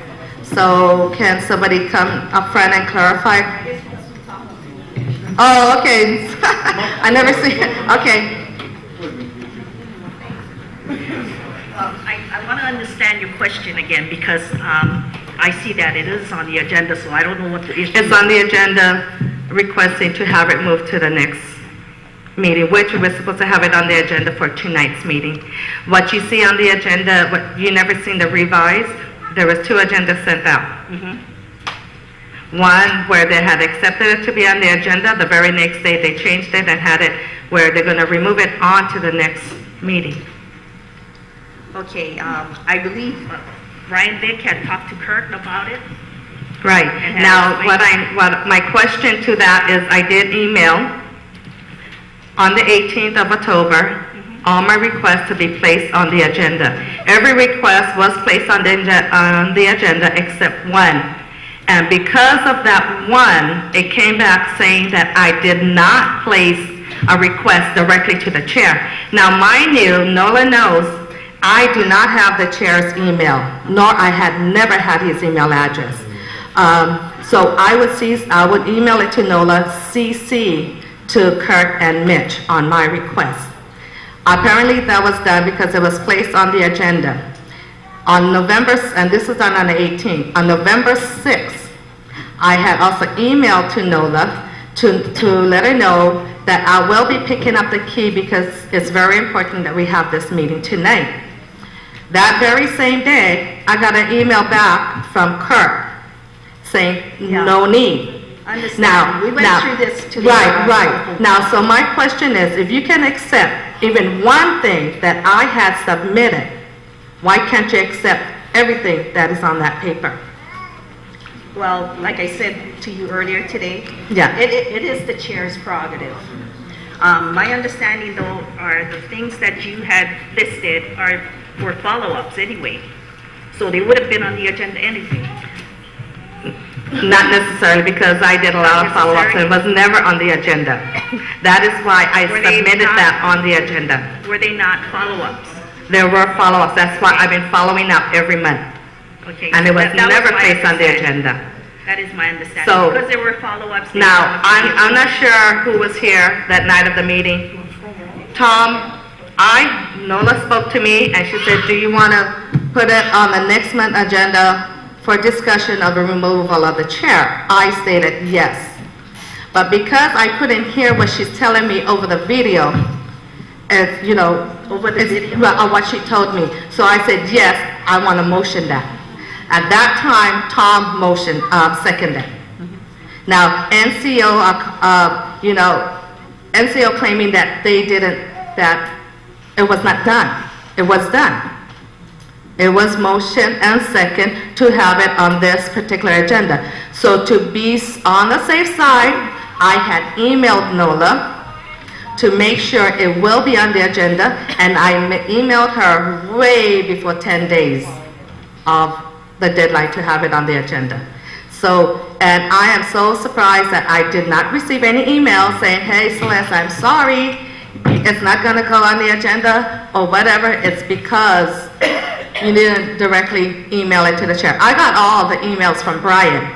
Now, my question is, if we wanted to go ahead and proceed this, this thing, I wanna see if I could go ahead and deny the request and go ahead with this particular assignment. It's With- up to the board.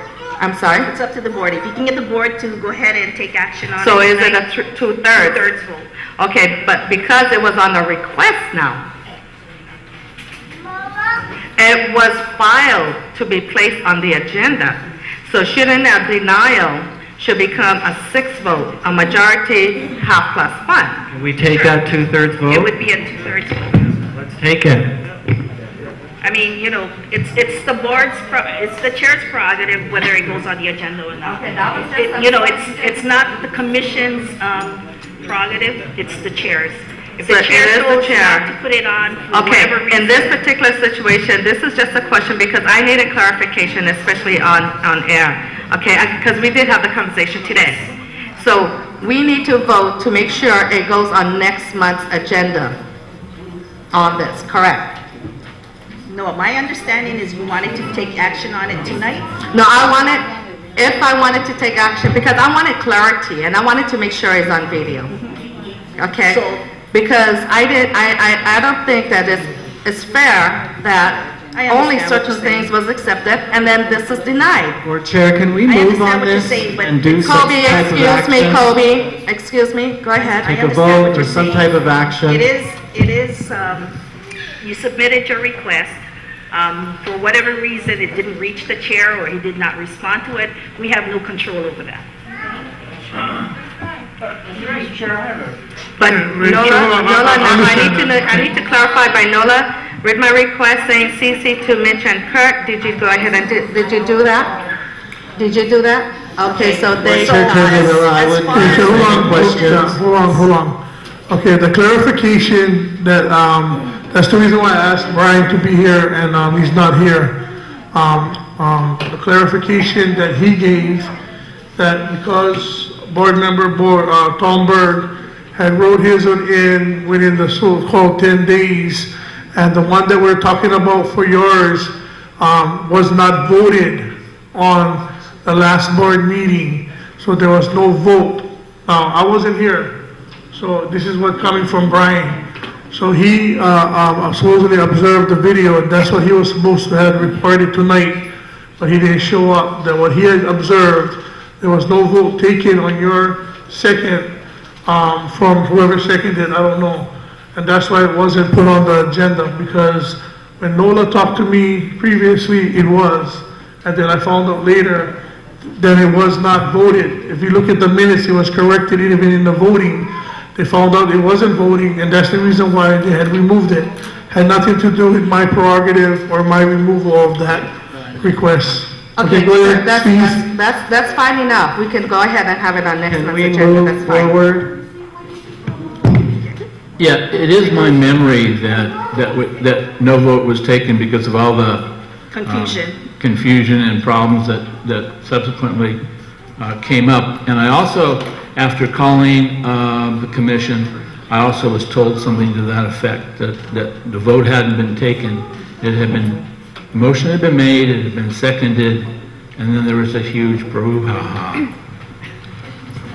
Thank you. Can we move forward and vote?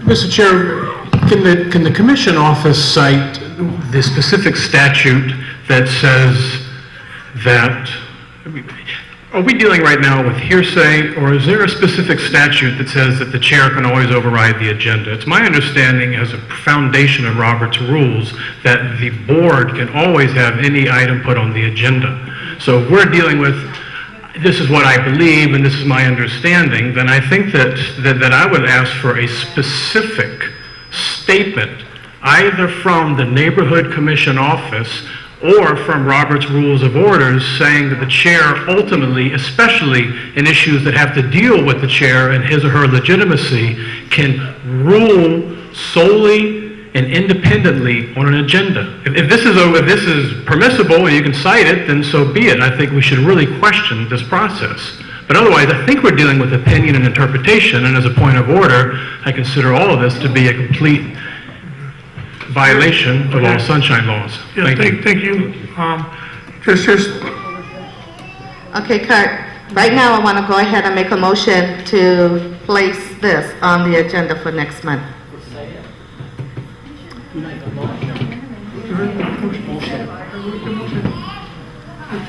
Okay, you know what? I changed my motion. I want to go ahead and place it on the agenda tonight. Anyone second that? Yeah, second. Can I speak? Oh, Chair, okay, go ahead. Back to what me and a lot of other people here are thinking, Miss Luke La Cuesta, um, um, and Mr. Glenn, can we please stop the interruptions? It's unnecessary, and I'm sure a lot of people back here feel the same way. It's, it's useless. We're not getting anything accomplished. Can we move on to the matters at hand? What happened? Oh, red. Yeah, red. I'm going to put my two cents in like everybody else is. This is ridiculous, okay? Ridic- un- unacceptable. You guys have spent more time bickering among yourselves, okay, than taking care of community affairs, okay? And we have the same people who want to have themselves heard. We heard you already, okay, now, now, the thing of it is, the vote about recessing December, okay? You guys would do us a great, big favor if you went on a recess, because you know what? You're not getting anything done anyway. You guys gotta start, okay, being a neighborhood board instead of being a individual, uh, whatever it is that you guys wanna call yourselves. I wanna be heard, individuals. Yes, right, yes. Thank you. Thank you. Mr. I'd just like to respond to my participation on this board as a volunteer. Um, I witnessed at a May meeting a removal process of Mr. Belford, who's sitting in this audience, and it was stated on camera, for all of you that are applauding, that Chair Favela said he received a letter from AMPO, that Mr. Belford... Point of order, what does this have to do with Mr. Belford... about? Thank you. I'm being interrupted, May- may I- I I haven't had a full minute. Out of order. I haven't had a full minute. Out of order. I'm not out of order. Out of Recess. Recess. Question, uh, vote. NCO representative, you just witnessed another sunshine law violation. Thank you, okay? Yeah. I got, yeah. Other people were afforded one minute to speak. I was not. Again, I went to sunshine law training two weeks ago, and Mr. Mick said just that. Call for the question. Okay, roll call vote. Excuse, um, you know what, we're running out of time right now. To repeat the motion. We, we must go on the, on with the agenda. Nola, I want to go ahead and, uh, move my, vo- uh, move it to next month's agenda. And anyone would second it, I withdraw the, the thing, and I will want to go ahead and move it on to the next agenda, because we're running out of time. People need to go home. Roger, Thank you. Agreed? I need to comment on that, that motion just made. I need to comment. She withdrew the motion. I'm gonna just do one thing, simple chair, one thing. I'm not gonna speak more than three seconds.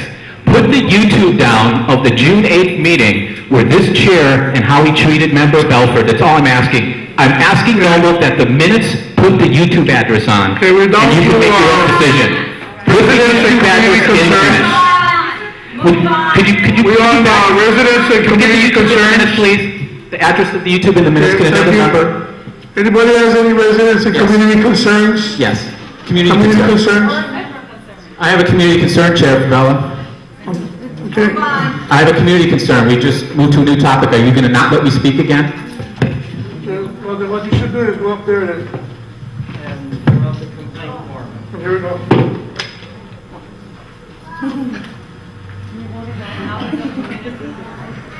My community concern is, is merely just asking for all of you to listen, and if you would like to be treated, I, I, again, How about listening to one Again, again. Why should we listen to you? I'd like my minute restored, please. I won't interrupt you. I won't interrupt you. I've been exercising, I've been exercising NCO representative my allotted time per sunshine law, and I've done it with due diligence to not offend anyone here. I'd just like to ask, under community concerns, Secretary Nola, would you please put the YouTube address, which I will provide for you after this meeting, and put it, my request is that that YouTube address be put in tonight's meeting minutes so that everyone here in this audience can see that the complaint of the Office of Information Practices, the Office of Information Practices, not Tom Berg, has asked the chair to respond to some allegations that have been in violation of sunshine law. Not me, not anyone on the board. All right, you got, thank you, thank you, Mr. Bird, you got your minute. All right, okay, next, state your name and your community concern. Hi. My name is Davina Ogrico. My community concern is everyone should be a resident of Ewa Beach to be on the board. Is that correct? Correct. Okay. Yeah, Legacy residents. And from my understanding, I've been a longtime friend of the Locuesta family and Celeste and Roger, you know that. Okay. And it really startles me to know that your daughter, Marcy and Nagata Locuesta, does not reside in Ewa Beach. If my understanding that she lives in Mililani. So I'm asking, don't speak for your daughter, I'm talking to your daughter. Uh, Yeah, I'm talking to your daughter. Do you reside in Ewa Beach? Yes, Okay. Okay, but, so you don't live in Mililani? You don't live in Mililani? With your family? I bought a house in Mililani. I live there. Okay, that, that was my concern. And then I want to know if it's, um, yeah, that, I don't know, maybe it can be investigated or something, because that's my understanding, that I know that she doesn't live in Ewa Beach. Question to the board. Okay. All right, thank you. Thank you. Thank you. Okay, Steve? Yeah, that should be, that problem, there is a process uh, with, with a new plan. All she has to do is sign an affidavit, uh, swear under oath that she lives here, uh, and, and the the matter is settled, and that's all she has to do. Okay. You know, I, I have a, commu- I have a community concern right now. Is that why a lot of people are looking over the wall at Ocean Point, looking into my home? Is that why my, yeah, is that why that people, I don't know how they're getting my home phone number because it's not published and they're calling my home and only certain people has my home phone number, nobody does. Okay, because they can't get my number. I work for the phone company and I made it secure. Nobody can have my phone number. Now, I'm just wondering, and, and, uh, and, you know, why? Shall we do the agenda? Because I'm tired of hearing this already. All right, ahead. Mr. Chair. Mr. Chair. Mr. Chair.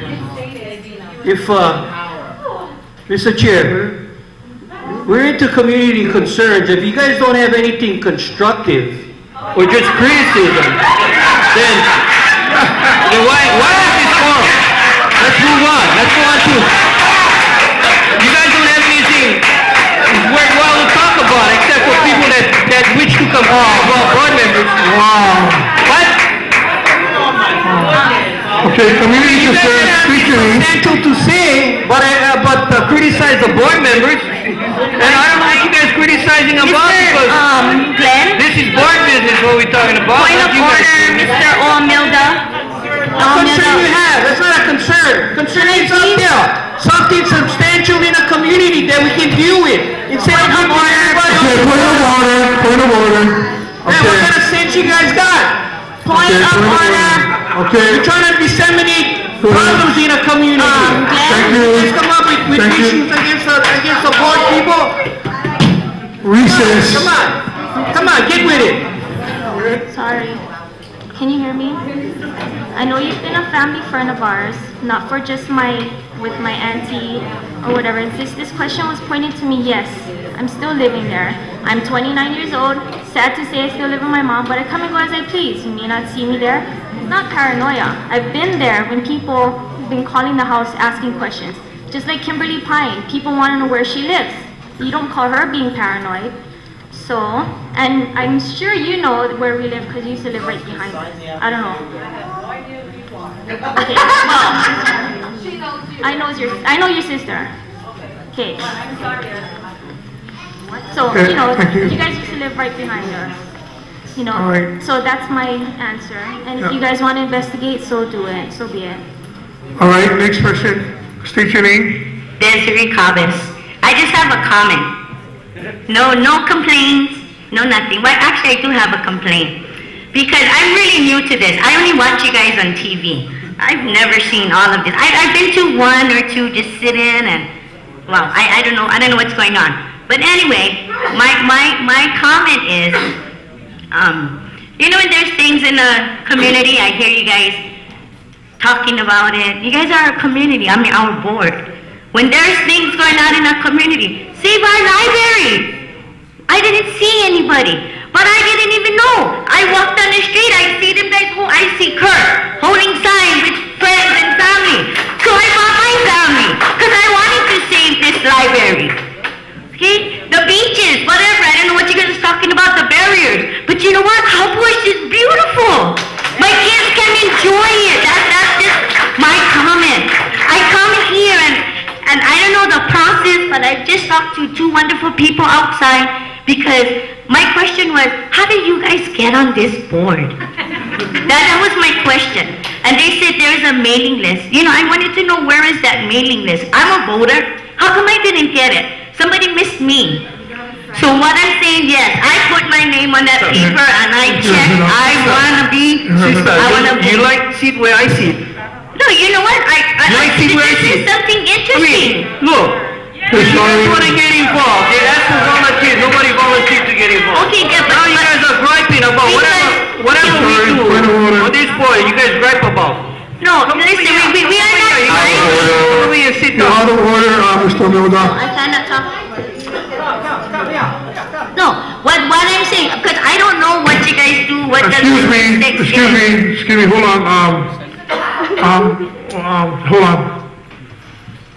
Can you please, uh, board members, um, Celeste and, um, she was trying to call point of order, nobody could hear them because of the, the, the volume over there. Um, you know, so can we just continue on with the community concerns? Yeah. Okay, and please, please be orderly, uh, Mr. Milda, and the rest of the board members, please, thank you.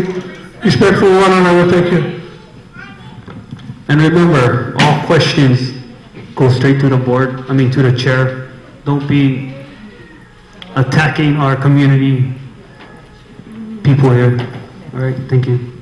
Okay, I, I mean, I, I, I mean, we, they um, voted you in. I, I had nothing to say. I, I mean, because I, I'm not on the board, but I was just wondering, how did you guys, what was the process?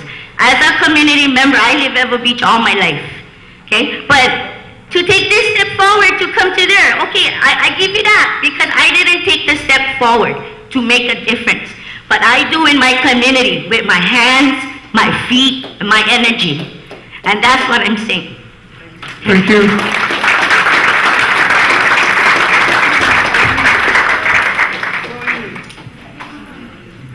Hi. Um, I'm Jerry Goff. I'm the branch manager of Ewa Beach Public and School Library. And I'll make this as quick as possible. Can I hear you, Jerry? Hear me now? Okay.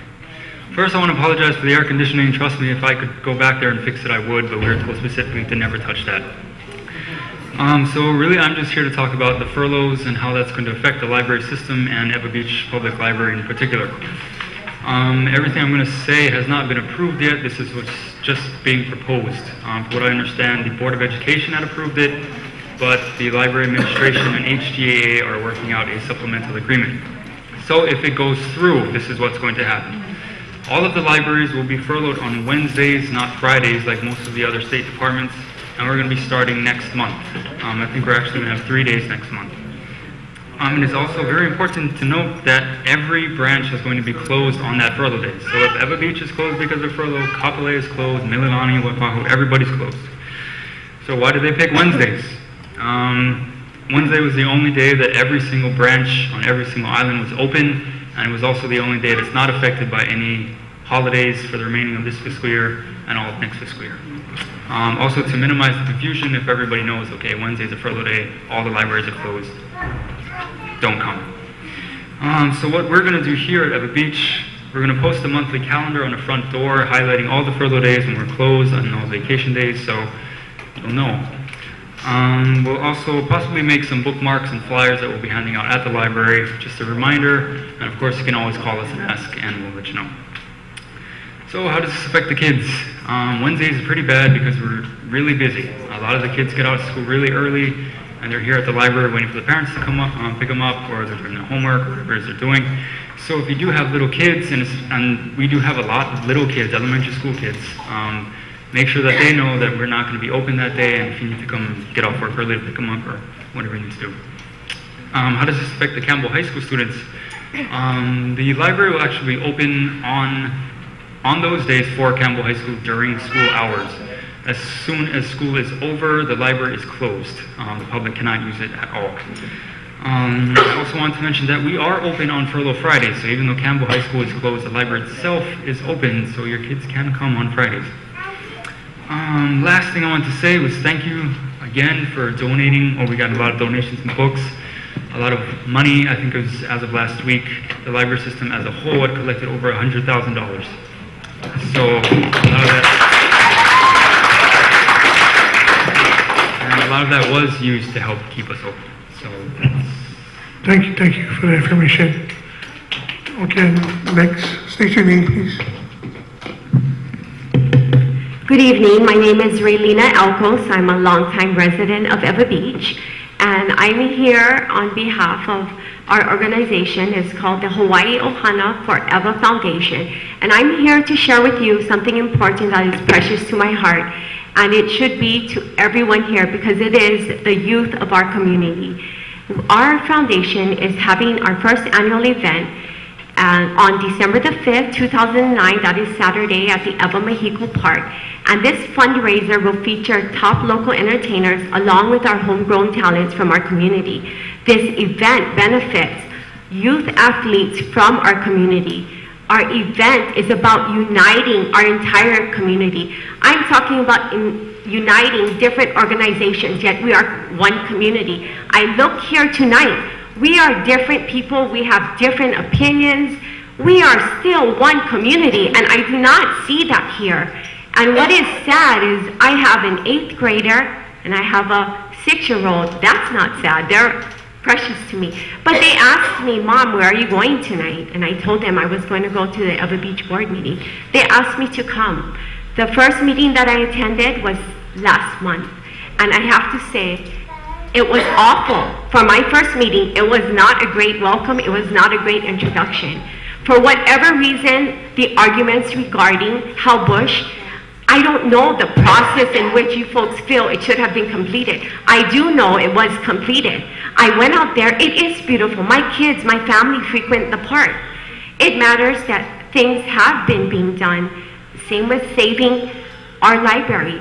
I have to say, I would love my kids to come. I will not subject them to this. I do not want them to have their first vision of a board working together that is bickering throughout the process.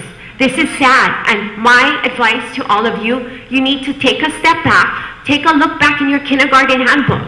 What I learned in kindergarten, the golden rule, be kind one to another. That's all I have to say, and God bless.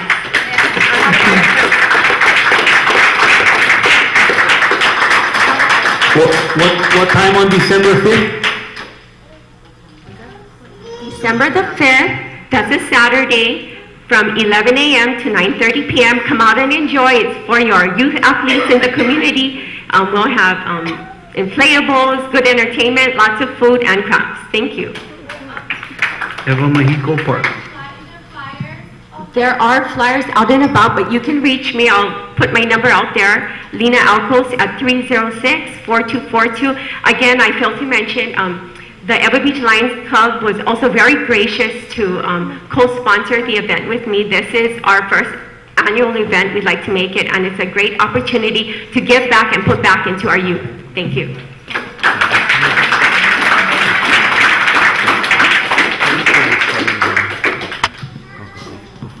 Rich, you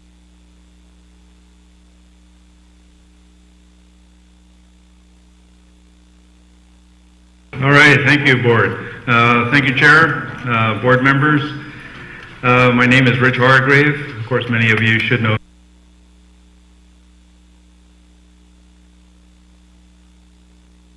uh, that we have in our area in uh, Ewa Beach or in the Leeward Coast. I also operate a, um, or sorry, in charge of a civil air patrol program. Uh, Civil Air Patrol that we have running is called West Oahu Squadron, located over at Kalaeloa. Uh, We've been out there for about uh, a little over three years right now. And what I want to do is uh, bring it to the attention of the board and the community that we have a situation that's been ongoing these last few weeks in reference to our current location. We're sharing some space with Honolulu Community College Flight School at Kalaeloa. Uh, We've uh, received notice recently to get, uh, or in effect, to terminate all of our CAP activities for the youth out there. Um, We're not exactly you know, totally understanding why. It was just a complete surprise, but we're trying to uh, uh, work along with uh, our uh, elected officials, uh, Rep. Pine, um, Senator Espero, Senator Gabbard at Kapolei. Uh, also, um, we've had some talks with Councilman Apo's uh, office to try to uh, turn this situation around. So if any of you have any kind of uh, input uh, in reference to our, um, well, maybe any kind of influence, I should say, in reference to maybe uh, Honolulu Community College University system. Um, I'm asking for support from the board as well as community members to look at the idea of uh, uh, getting some uh, letters to these people and allow them to understand what our cause is in reference to taking care of the youth and this program that we have going on. Uh, There are some flyers that I brought uh, together uh, on the chair, on the table over there that will reflect exactly what the issue is.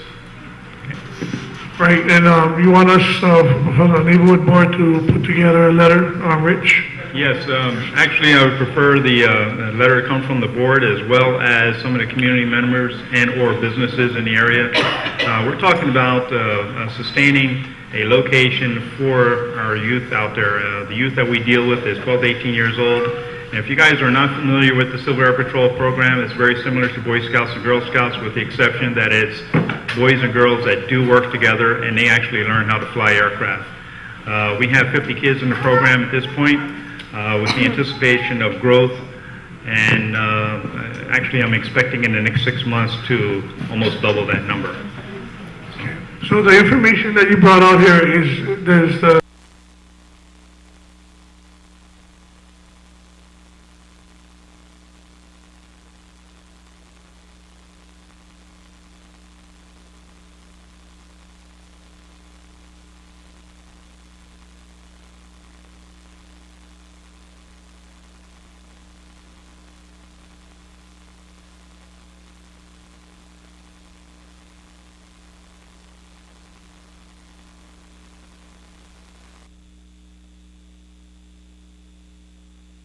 reflect on our particular uh, situation.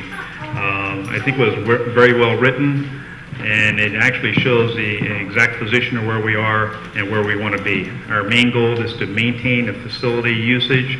Uh, What you need to know is that we use this space once a week, three hours on a Saturday morning uh, for these kids to come out. And I'll tell you, it's something that the kids really love doing and want to be there. They're actually learning leadership skills, responsibility, um, discipline, as well as uh, safety features. Okay, Tom, then Celeste.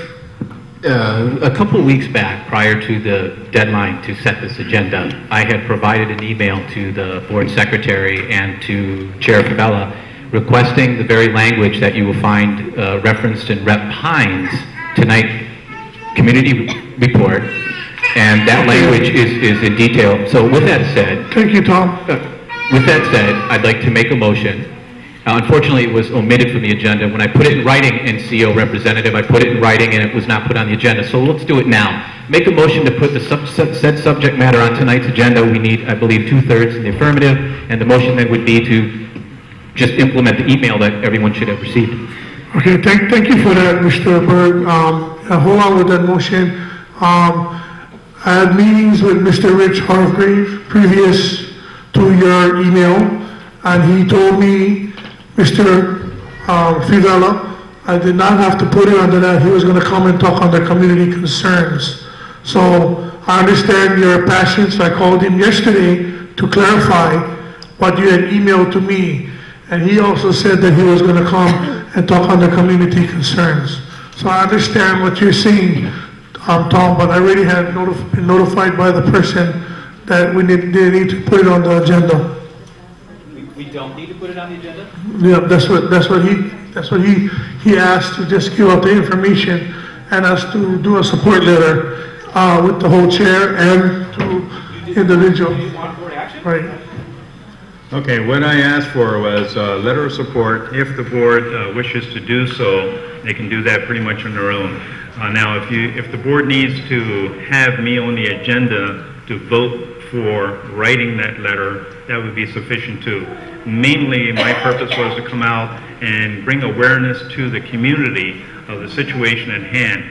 And uh, again, if you have an opportunity to pick up that uh, uh, midweek article uh, that I have on the table over there, it will give a, uh, a real good overview of the situation itself. And our, what we're really looking for is the support from the community residents, from the, from the board, different businesses within our community to sustain this uh, youth program in the uh, HCC facility currently as we are operating. Mr. Chair, Mr. Chair, question? Question? Question, go ahead. I have a quick question. Go ahead, Mr. Mulder. Uh, Rich, um, uh, i- i- is it a site that you're concerned about or a support to keep your program alive? What is it? Uh, No, it's uh, primarily the site. The uh, program is alive. It will continue to be alive. Uh, Location is what we're striving for. We've been utilizing the facility at Honolulu Community College for the last three years. The, What we're using is office space, small office space, as well as uh, use of the classroom when the school is not in operation. Uh, So we're only there three hours on a Saturday morning. So um, the reason was given that we were uh, asked to terminate our activities in their facility was due to a um, uh, language uh, that was written in an agreement for the school to maintain the property that they have. So we're asking uh, for the school to uh, get an amendment and/or waiver to the current language that's in their agreement so we can stay, and it would include CAP and/or related uh, activities for aviation. So, so it's not, uh, let me put it this way. It's really not a hands-on, but more of a classroom kind of a um, program that you have, or, I mean, do the kids go out and mess around with, with small airplanes and stuff like that, or? The kids actually learn how to fly. I have 13-year-olds that are flying airplanes. So, but the question is, the, the, the hands-on, the hands-on. There's, there's a lot of sites that you can, you can direct your activities to. But Glenn, you to can discuss this outside. I I would like to uh, just have the, meet the board, if can, call for the question, if the board can support, write a letter for uh, Rich.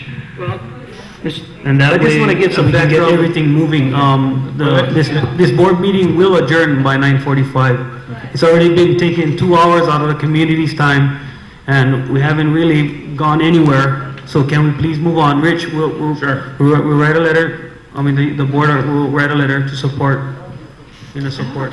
Okay, thank you very much. Thank you for helping and interacting with all these young Uh, adults. Rich, wait, Celeste has one quick question. Rich, I remember, um, I do have it on one of my, my personal minutes. Didn't we, you come up with this before about that area, um, about, um, being relocated in November? Or, or something like, No, that, no, November in- first or something like that? If, if you take a look at the article, the article says that we were given notice to terminate activities as of 1 November. Right. We're- We're currently sta, we're currently there, still there in position. However, the, uh, the assistants with the, our elected officials, um, have been talking to the school, and I'm asking for additional community support as well as neighborhood board secure, uh, support, uh, to obviously give us total support, letting the school know that the community has a need to have this youth program in place. Oh, because when this is brought to our attention, I- if I'm not mistaken, I think the chair had requested that our board would write a letter at that time, because that's what I got in my minutes. I mean, I was surprised that you got got that, because it was, for my own personal minutes, um, you- this did come about, and I think the chair was supposed to have somebody write a letter.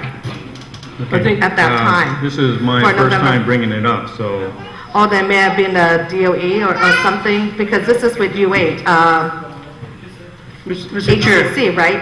Cel- HCC, correct. Celeste, um, I think there's a motion on the floor. David made a motion, And there was no second, but I second that motion to write a letter in support of this program. Thank you. Mr. Chair, we had enough discussion. Can you call for the vote? I I made a motion that, that we need two-thirds so that we can vote and write the letter. If we want to follow the NCO and, and the policy of the neighborhood commission office. Or we could just ad hoc it and wing it and, you know, like we've been doing. Pretty sloppy.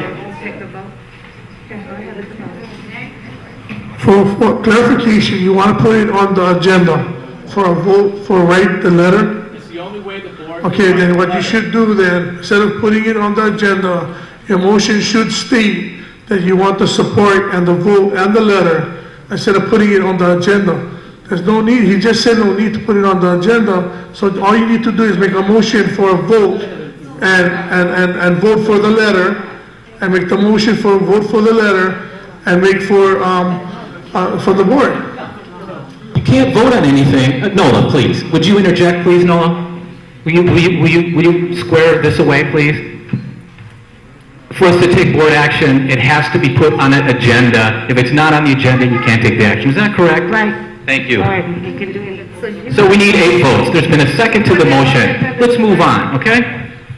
So you want the vote to be put on the agenda tonight, correct? For tonight, so that the letter can be written. Correct. They have a vacate day, yeah? This letter needs to be in now. I'm roll calling everything, thank you. How about we just privately, each of us individually write a letter? I move two-thirds. Sandra Kaki, Tom Berg. Mary Chanel Benjamin. Kurt Favela. Yes. Steve Nauer. Celeste LaQuesta. Yes. Roger LaQuesta. Yes. Kobe Lynn. Marciana Nagata. Richard Chinanis. Yes. Glenn O'Milda. So it- Motion passes to put it on the agenda to vote to do the letter. Tonight. Tonight. Can I move to write that letter now? Please call for the vote. I second. Oh, yeah. Yeah, just volunteer. Second, please. I second. Okay, get the quali, quali, uh, get the, yeah, no, get the, um, clarification for the, the letter, please. The clarification was emailed two weeks ago to both you and the Yeah, yeah. secretary. No, no, I understand that, Mr. Berg, I'm talking to whoever made the motion to, yeah, I know Malia made the motion, so we're just asking clarification, because people down here wants to know the qualification. Mr. Berg? Um, also, if I'm gonna have a yay on that, I wanna be able to see the letter previous t- to it being sent. You know, the draft, so that I'm okay with it, because I just said yes to a letter that I'm not, I won't see. Hopefully I will. There's a motion on the floor, Chair, to write the letter of support. Call for the vote, please. I second that. Okay, so, um, somebody call for the question.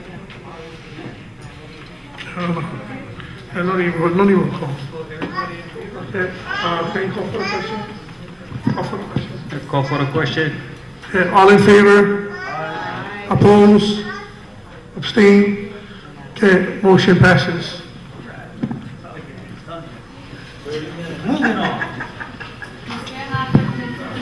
Okay, approval, oh, sorry, oh, yes, sorry, yes, sorry, I'm sorry about that, yeah. Thank you again, Chair. Um, First of all, just thank you, really. Um, When you're asking questions really in a very mature way, you notice that the community is responding so well to you, and I totally appreciate those kind of tone of voice. But when we start demeaning people, it's nobody wants to be here. So really, thank you so much for really working together, because we really need to come together as one heart. That's basic, that's what we're here for. We're here for the community. And at the same time, too, is I just want to really, you know, acknowledge the amazing, you know, um, Senate, represent Senator um, Espero, as well as Representative Kim Pine, you know, Todd Apo, you know, and everyone that's sitting out there that's representing us, right? Because really the community has, you know, we've gone, you know, gone, you know, in a very amazing way with all these roads and even the parks. So thank you guys always, and also for the representatives, you know, sending down from the mayor's office, including the, the governor's office. Thank you all. You guys have all been amazing. You guys are instrumental in pushing all these projects forward for us. Mahalo. Thank you. Any more? Thank you, Mr. Chair. And in the uh, interest of positive news, I would like to make sure the community knows that after a lot of time and effort, the free wireless network across the street at the city and county park is functioning again. I'm enjoying it in here as we speak. We all know that we unfortunately lost internet access when the DOE cut it last year. I'm now providing it for you for free, and you cannot hit the naked sites. Our children, when they get out of school, can go by the park, and we have six workstations always available, 15 available when the other room is open. They're all full of really great and outstanding education applications. And I want to make sure all of you know if you're in here, you need to access the internet, look for the wireless network name Free Forever. And if your children or you are looking for a Furlough Friday or a Library Wednesday alternative, please go see Darlene at the park. Use the computers and make me have to put more computers in the park. I'd be happy to do it. So thank you. Three, four with a number. Thank you. F O U R or four? Free forever. Oh, oh, free as in F-R-E-E, and then the number four, and then ever. Thank you. But you'll see it automatically. It's not really that right. Okay, any more, um, community concerns and announcements, slash announcements? Yeah, well, no, he's gonna come up. Okay, um, wait, let's go with the approval of, uh, is any corrections to the minutes for October 8? Yeah. Okay, I have, if I could be recognized, Board Chair Kirk Favela, I have. Go ahead. Yeah, it's going to be page five of six. It's going to be under Representative Kymberly Pine, and it's going to, I'd like to have it removed that the concern will be brought up again at the neighborhood board meeting concern. One, item one. The, the, the, the whole thing is very vague, and then the, yeah, okay, the, next thing, uh, was page four of six, under Ewa Beach Sunset on the Plain event, we have city department authorized the Friends of Favela to have a booth and pass out campaign material at this event. I believe that's incorrect too and should be removed. That's page four of six. At the top, Ewa Beach Sunset on the Plain event. Thank you. Okay, um, you go ahead, Just to let you know that there was multiple uh, corrections on September, September minutes, and was supposed to be put on this agenda, correct? We put it the next agenda, after the other agenda, you can bring your corrections.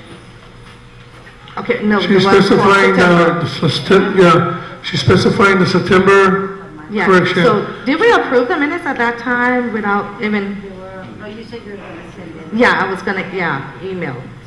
So, but did we approve the minutes for September without the corrections? We did.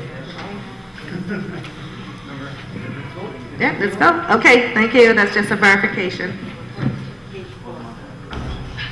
Yeah, Check page four or something like that. Okay, eh, um, if any objections to uh, approving the minutes, can we just approve the minutes? Okay, go ahead. Uh, There was a Q and A exchange under Weed and Seed between Celeste and Gail with Weed and Seed, and I don't see that Q and A, the question asked, and the answer in the meeting minutes. Is, is there a way that we can at least acknowledge that there was a question asked and that the answer be included in the minutes to reflect the meeting?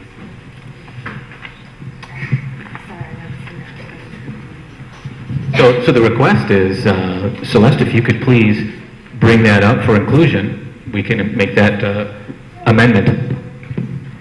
Okay, it was, um, who's the co-founder of the Weed and Seed? Um, I did bring it up with Gail at that time, I guess you remember, right? And she did comment that there is no co-founder of the Weed and Seed. I'm a co-founder of Weed and Seed. Huh? So am I. I'm a co-founder of Weed and Seed.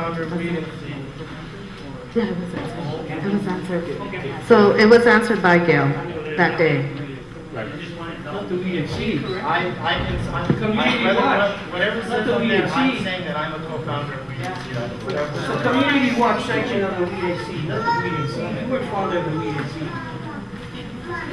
She did- community watch that you formed. She did clarify, and um, I hope that she's here, that there is no co-founder of the Weed and Seed. The Weed and Seed is a federal thing, so when it comes to federal, you are not a co-founder.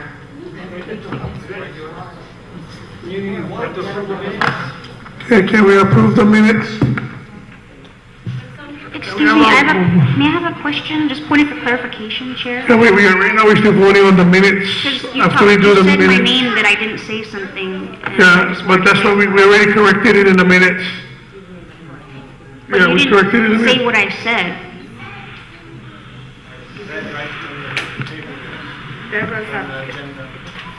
There's two agendas. Kymberly, I, be- um, I believe that, um, Kobe, I believe it was Kobe that brought up where there was, um, corrections that needed to be made on the agenda, and that, and apparently it's under yours. One of them is under yours. But, but it wasn't said what I had really said, what my real concern was. Right, I um, I. I guess the correction was to be removed, so, um, you can go ahead and clarify with the chair on that. So you're removing my, anything in reference to my concern? Chair Favela, can, can I move to suggest that we take, it sounds like there's several corrections. If we could take each item at a time and move and, and approve them because we can't, as a whole, in, approve everything that was just said. I think we need clarification for each Well, then, then what, what's gonna happen, if we have that much corrections, um, on, on top of this, the minutes, and then I recommend that, um, we, we defer, we defer it, um, to get it amended for the next month's approval for, um, the corrections, so I think we should do that, and everyone that has corrections to the minutes, can you guys please email it to NOLA, so that we can have this corrected for next month's meeting, I would really appreciate it. Thank you very much. Okay, we're moving on. Okay, I'm not sure if everybody's here, but when the um, loud discussions was going on, I think some people left, I'm not sure. But but for board business, we have 2010 census. They're here. Okay, they're gone. Okay, hold on, is Paul Holikipa? Okay, all right. We have, uh, I know, um, uh, yeah, we have, uh, yeah, St. Francis, yeah. Okay, all right. Thank you, Mr. Chair. I'm not Faye Eugenio. I'm Pam Whitty Oakland from St. Francis Development Corporation, and I'd like to introduce um, Jesse Wu from Stanford Carr Development. Um, We're here, one, to thank the board for all of your support. A couple years ago, we came to you with a project that the sisters were proposing to build senior affordable housing in a parcel of property that's behind the old Ewa Plantation Manager's home and the shopping basket. And I'm I want to thank you for your support, and we're here to announce that we will be breaking ground in January of 2010. And thank you. We, are, we will only be doing the senior affordable rental piece and the community center. We'll be closing on our financing this month, um, breaking ground, well, notice to proceed early January, and I invite the board to a blessing on January 21st. So invitations will be going out, but this is a save the date message for all of you, please. And if you have any questions, um, Jesse has been our project manager. He comes to us with many years of experience doing affordable housing. If you have any questions, we're here. If not, it's just to thank you for your support in all these years. Okay, Glenn, question? Uh, hi Pam. Hey Glenn, how you doing? Congratulations on your newly Oh, no, elected no position. big thing. But anyway, let me ask you one question. It's been, what, two and a half years or almost two years? Yes. That, um, uh, if uh, there have been any changes or modifications, or we'd like to revisit if there were any changes to Nothing significant. What, the only thing we've done is we've deferred on the single-family and the townhouse buildings. In fact, just you want to grab that site plan? Um, Originally, we had proposed to develop the entire 23 acres, and at this point, we're just developing six acres. It's only the senior affordable rentals. And I don't think anything's changed significantly. It's 150 units, um, and we are obligated to serve incomes at 80% of the average median in families to 80%, and we're actually be able to target rents down below that at about 60% of the average median income. So if you, if you folks are familiar with this parcel, um, the centerpiece is where the communities, uh, the, the senior rental community is going to be. The rest of this site is going to just be left alone. We're going to do some mass grading over the whole site, but only the senior piece will be built. So before we start any of the other pieces of that project, we'll come back to the board and give you an update. I can't recall, but were there any phasing down on this project done? Phasing done? Requests to phase the project? We've decided to phase it and just do the So that's senior gonna be piece the now. That's gonna be phase one? That's correct. Have you, uh, I think our concern, main concern was the mi- mitigation of traffic in that area. Has that been looked into and, and what results did you guys come up with? We have reviewed the traffic demands of this project with the city, and they've signed off on it. In fact, it's a senior affordable rental, so 62 and older is the age limit to even move in. And so we don't anticipate those to be folks who are going to be commuting to town and adding to the traffic on the road. Okay? Uh, Let me, uh, let me ask you one more question, Mr. Chair. Okay, um, should wait, hold on. Anyone else? Thank you. You know, the senior homes, will it be out of concrete or will it be out of wood? Or are you, if it's going to be out of wood, are you going to have like um, firewalls or, because this is a senior home, so how security is that going to be for the next neighbor? They are metal frame construction and designed to city building code, and there are the appropriate fire um, protective measures incorporated in the design.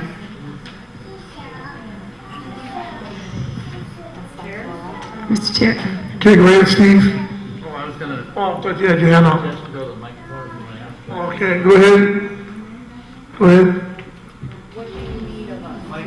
Nothing, actually, this is a courtesy thank you very much. I wanted to let you folks know that we're finally breaking ground. We had some um, challenges in getting all the financing together on a timely basis, and we're there, and it's just a courtesy update. Before we broke ground, we wanted to let you know. Thank Mr. you. Chair, one last question. What, Pam, what are the off-site, off-site improvements that you intend to make?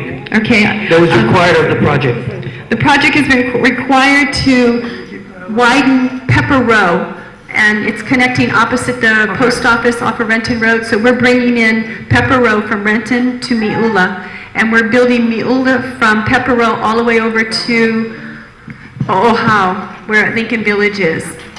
So those are the off-site improvements that we're building. You have any uh, proposal to, to put a uh, traffic light or any of those sort? No, sir, that was not merited in the traffic study that was That's done. good, thank you. Okay, one quick one. I just want to let you guys know, like I said, 9:45, this board meeting is going to end, so. uh, What- Go ahead, Celeste. What are the, um, the rent? Do you have any price ranges on the rent right now? Jesse, is it 725? The, the one bedroom is starting at 725. Including any utilities? That includes the ut- utility allowance. And it is, I, I have to brag that it's a very green design project, and we have solar hot water, and we're working on a photovoltaic proposal to provide all of the electricity to the project through solar. Okay? Okay, thank you. Anyone from the community? All right, thank you. Thank you very much. Mahalo, good night. Chair, if you would, out of order, I know we had Mr. uh, Guy out here, he's going under announcements, could we just, it's like a five-minute presentation, real quick? If the board doesn't mind, if we can get him to come up real quick and give his presentation. Any no objections? Okay. Quick one, sorry about that. No, no problem. Thank you uh, to the neighborhood board and Mr. Chair. for this opportunity for me to address the board. I work for the Western Pacific Regional Fishery Management Council, and we were created in 1976 by Congress. We're one of eight regional councils uh, created with the Western Pacific area. We manage fisheries. Our job is to make recommendations for the management of fisheries in the federal exclusive economic zone. Generally speaking, that's three to 200 miles out, and we make recommendations for regulations for Hawaii, Guam, the Northern Mariana Islands, and American Samoa. About 10 years ago, they said that we're going to change the way we manage fisheries. We used to manage fisheries based on species, right? Pelagic species. We, we manage fisheries. You can only catch so many. There's, there's uh, quotas and everything. Well, they changed. They said they want us to manage it by ecosystems. So over 10 years or so, it was decided that, yeah, communities are part of the ecosystem. So we had to come up with a process, and it's going to be a community consultation process, where we more actively go out and engage the community to help us make decisions on managing fisheries.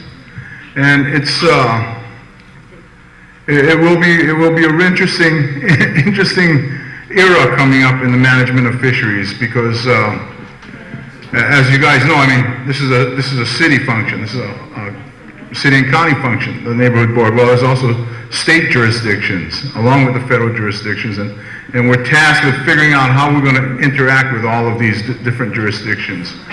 And the assumption is that whatever happens on land goes into the state jurisdiction and finds its way out to the federal jurisdiction. So we need to uh, negotiate with all of the people involved and basically, we, we're supposed to manage fisheries and we're supposed to manage the environment for the benefit of the community. And the only way we can manage it for the benefit of the community is if we know what the community wants. So we're changing the way we manage from species to now, if we go with ecosystem, we're changing it to places. So essentially, Ewa would have their own, say, specific rules that they would have, have applied, and I'm glad to see you guys got a Marine and Environment Committee but there would be specific rules that apply to Ewa that may not apply in the same way to other places. Yeah. So, so we're entering this era of, of, much more complex management of natural, natural resources. And uh, this is our initial foray into this uh, forum. Uh, community boards are part of Honolulu City and County. They don't have the same thing on other islands. So like on the Big Island, we have to go through a moku process, which the island is divided up into 130 ahupua'a, of which there are 8 or 10 mokus. So we're meeting with the mokus, trying to decide what this community consultation process will be.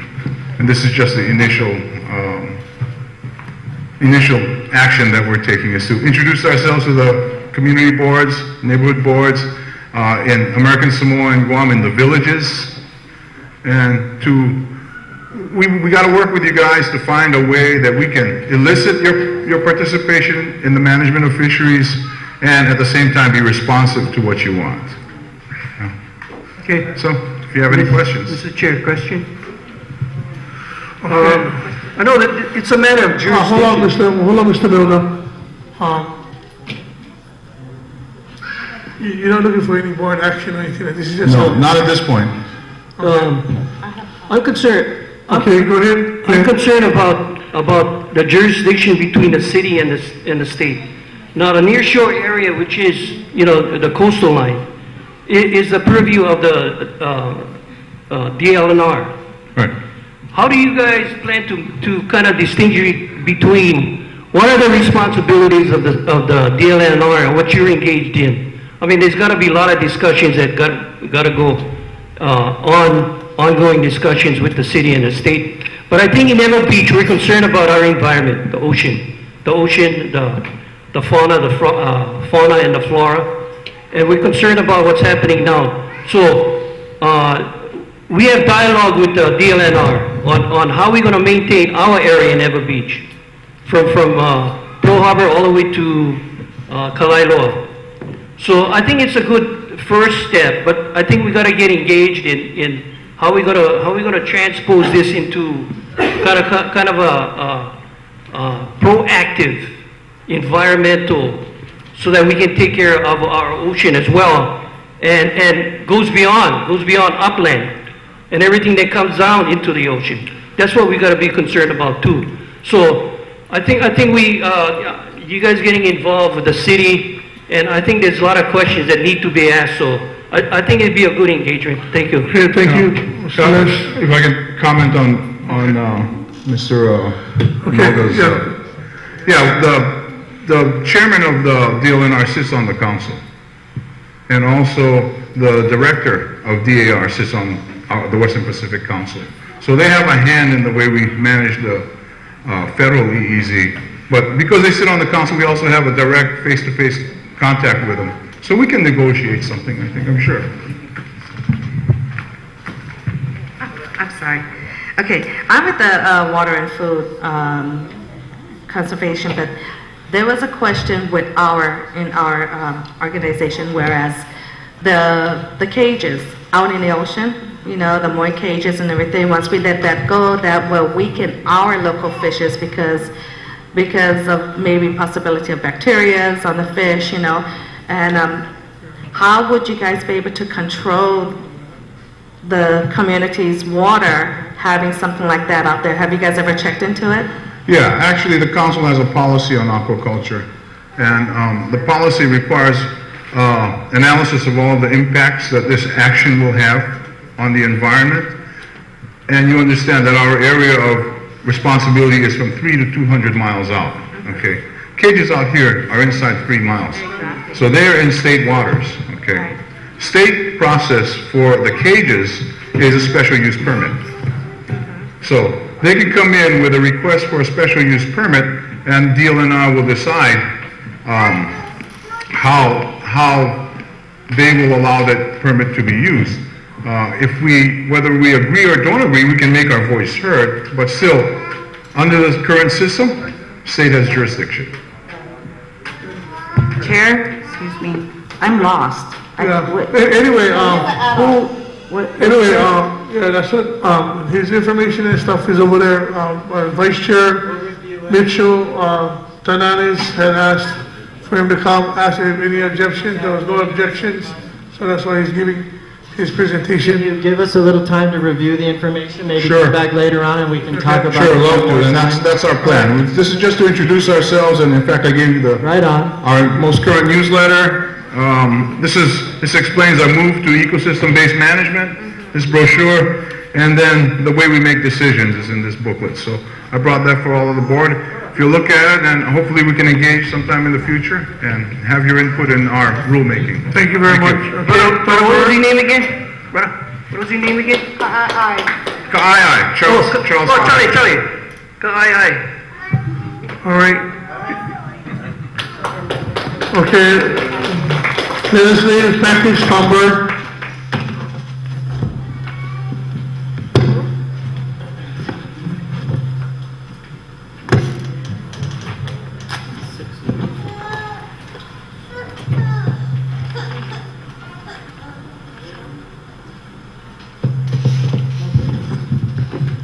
This has to do with um, subject matter that's been on the, this agenda and committee through years, and has to do with Mango Tree Boulevard, otherwise known as Kane Hall Road or Bill Balfour Drive. That is a, a, a Kane Hall Road that would provide connectivity between the north-south road corridor and the Fort Weaver Road corridor. So if you see on your agenda, this was covered in committee last month, asked to be for board action today, and what this east-west uh, connector road... Um, Tom, since you're doing your presentation, can you please go up there and do the presentation for us, please? It's easier for me, yeah, thank you.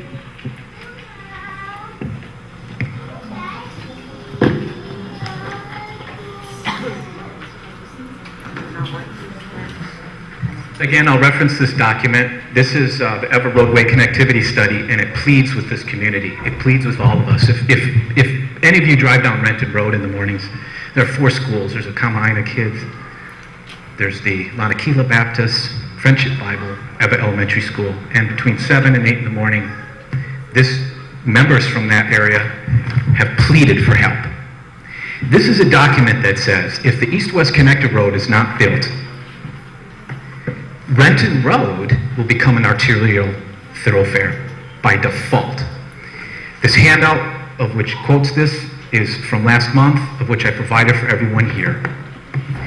I'd like to expedite this by thinking that uh, everybody's for connectivity, so when there's an accident, you want an alternative route. I think that's positive. We want access to the second city back and forth. If anyone takes Fort Barrett Road down to Roosevelt, there have been people asking for a police officer in the afternoon. It's that bad. We don't have a way in and out. This connected road, the east-west connected road, goes straight to the Croc Center for all of us in Ewa Beach. Goes straight to UH West Oahu. That's the main access so that north-south road doesn't become overtaxed. So it all makes sense. The planners, the experts, not Tom Berg, the experts have said this.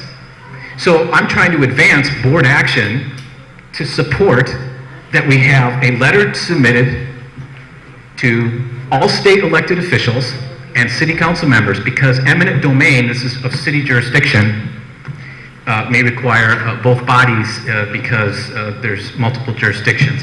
There's DHHL, of which it's $17.2 million portion of East-West Connected Road, from my understanding, has still been delayed due to a uh, dispute, contract dispute. So with that said, we have a package.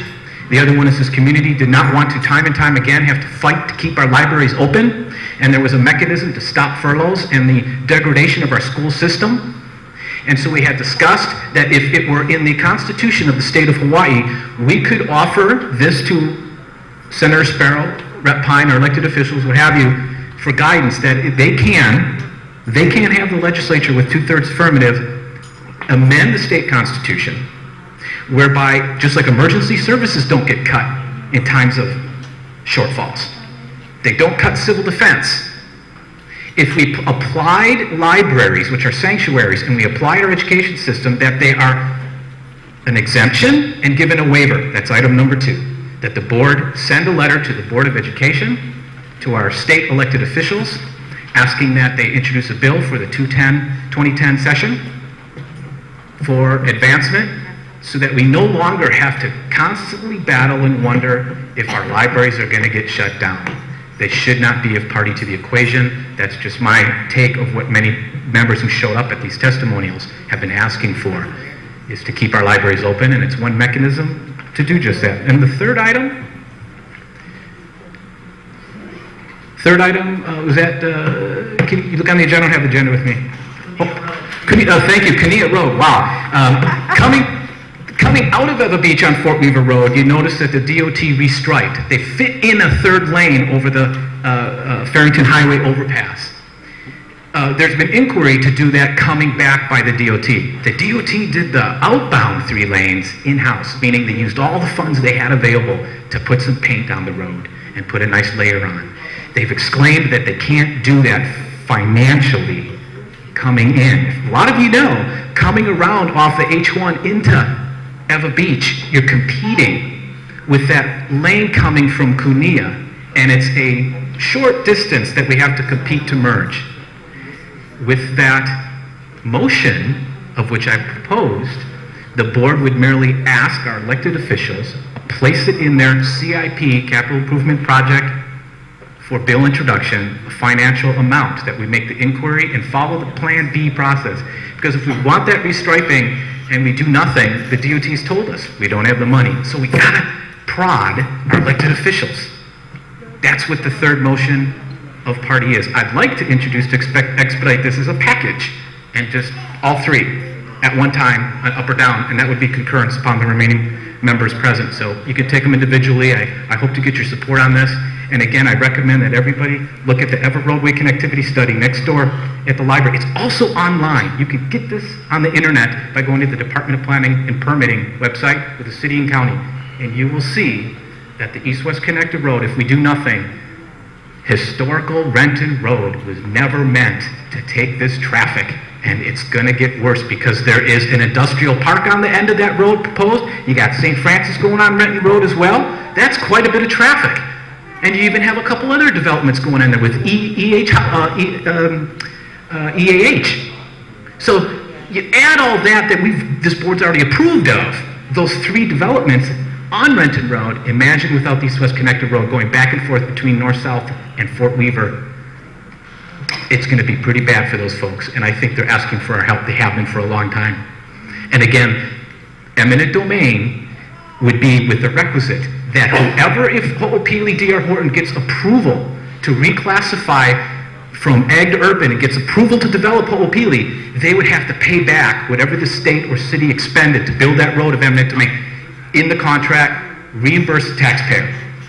Right now, we need that road so bad, we can't wait for the State Land Use Commission to make a decision. We can't wait for, if it even gets approved, Ho'opili said that's not on their agenda for the, for the, for the short term. That's a long road out. We're talking 20 plus years they would ever even decide to build that thing. So that's unacceptable, board members. Please support the package. Thank you. All right.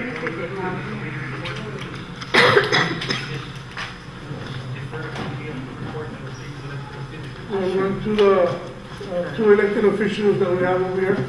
Will, Senator Will, um, sorry, and uh, Hawaiian Homes. Um, Right now, um, since, you know, you submitted your, um, your paper, um, can we just go into the the information and and gathering kind of thing so that we can get out of here? Briefly, uh, the second page of my report has a Kapolei Cancer Self-Help Group that's forming in West Oahu. Uh, We don't have a cancer uh, self-help group, and if anyone's interested in this, they can contact my office, or there's a number 685-1215, 685-1215. Uh, The big issue I'm working on, which you may know, is the Friday furlough situation. I've been appointed the vice chair of the committee in the Senate looking into this, and I am right in the center of the debate on whether we can take the 17 Friday furloughs and reduce them. I don't think we're going to be able to eliminate them, but unfortunately, if they stay as it is now, the plan, the 17 lost days will make us probably the lowest in the nation and in the industrial world. Japan and Germany, for example, has 240 days of education. Their 240 to our 161 would give us two-thirds of what they're doing. Korea 220, China 209, Canada 200, New Zealand 197. You get the point. As we reduce the days, our children's education suffers, their future suffers, and ultimately the state of Hawaii suffers. So we only have a small window of opportunity to deal with this matter before the end of the year. Because if we don't deal with it by the end of the year and wait till next session, like some people are saying, um, next session is going to be done by May, the school year will be done in June, and thus we will be labeled the state with the worst instructional classroom days. So that's something still going on. We're still working on it. Um, there are six parties that need to agree. The Senate, the House, Board of Education, Department of Education, HSTA, and Governor. Uh, right now, four of those six segments are moving in the right direction. We need to work on the governor and the House of Representatives. It is still possible, but each day and each week, that window of opportunity grows smaller and smaller for a special session. And hopefully, um, I've come up with a plan, $25 million, 10 million from the Hurricane Relief Fund, 10 million from federal stimulus Part B money, and 5 million from the rainy day fund. That would give us back five school days. Then we'd ask the union and the governor to reopen the contract, and one idea that's been floated is to take the Wednesday and the Friday schedule, which they currently have, and switch them. And by switching them, that would give us five more days. So between the 25 million and reopening the contract, there's a potential plan to at least get back 10 of those days. I see that I'm being asked to complete, so at this time, if there's any questions, or feel free to, to call my office if there are any. Okay, Glenn, quick one. You know, uh, Senator Espero, every month, the revenues what, that was projected hasn't been, hasn't been come to fruition. Uh, question, you The question? question is, we're gonna rely on, on monies, or taxpayers, taxpayers' base as the sole responsibility of generating income to pay for the state's bills. Now, you, we're reading all these, uh, you know, you know, uh, storm and, and rainy day and all this and that. Yet there's $350 million sitting out there for the rail from the GTE tax. And you guys haven't talked about yet. You guys want to raid the public, the public and all its incentives that they put aside for it. You guys want to raid, but there's $350 million that are sitting in there in, in the GTE tax. And you guys haven't talked about that. Uh, yes, we have. May I, may I answer him, Chair? Last legislative session, there was a proposal to take money from the rail fund. Uh, but the voters and the legislation, the law says that that money must specifically be used for the rail, of which the majority of the people recently voted and said that they want to build the rail. Then we received a letter from Senator Daniel Inouye during the legislative process. And in his letter, he said that if we continue to look at the rail fund, it could seriously jeopardize receiving any federal funds. So that was on the table, Glenn. It, it hasn't been ignored, and it will probably be on the table again. Let's follow up, Mr. Chair. Okay, thank you, um, Senator. Anyone else? Thank you. Thank you very much. Okay, uh, my question is, could you, um, north, um, the east-west connection road that, um, Tom is bringing up, um, is it, um, is it really bad for Renton Road? Because knowing that Renton Road is just a substandard road. Now, will there be heavy traffic going in there without a east-west connection road? So I just basically want to know that because the, the residents there don't deserve heavy traffic there. When Kapolei Parkway opens up, and Kapolei Parkway will open up either January, February, or March of 2010. Uh, we're real close to getting that whole roadway open up. That will help the situation in terms of getting people from Ewa Beach to North-South Road, and they will just cross over Renton and not use Renton. Down the road, Renton Road will be heavily used, probably as the whole area develops. But it's imperative that we have to see what does happen above um, Ewa Villages and the Ho'opili, because we're competing with every community in the state. Um, Ocean Point, for example, would like to continue the road to go right through through to um, Kalaeloa and connect to the north-south road. Um, Tom wants to widen Kunia. The Waipahu board wants to change that intersection of Waipahu Road. And it's a matter of prioritizing these projects. Uh, we just have a little money and we have a large amount, so it's an important roadway, the east-west collector road. However, where it is on the priority list, I don't think it's going to be as high as some of the other needs. Thank you. Thank you. And Senator, you got your invitation for the Yes, I did. Thank you. Okay, I have one over here for Rep. Kymberly. If you guys could be the judges for our parade, be nice. Thank you. Okay, go ahead. If you do have a meeting next month, I will be in Virginia. My son will be graduating from Officer Candidate School with the U.S. Marines. Thank you. Thank you. Right on. Okay, Okay, I'll be brief, and since he went on furloughs, I, I won't go into that area. But I do want to thank Senator Espero for helping to lead the charge for our community. Uh, he's doing a great job. Um, I do want to focus on a section that we've been working really hard on, and to let you know that the people of Ewa Beach has been wronged by Star Market and, and Times. I very rarely come out very strongly against a company.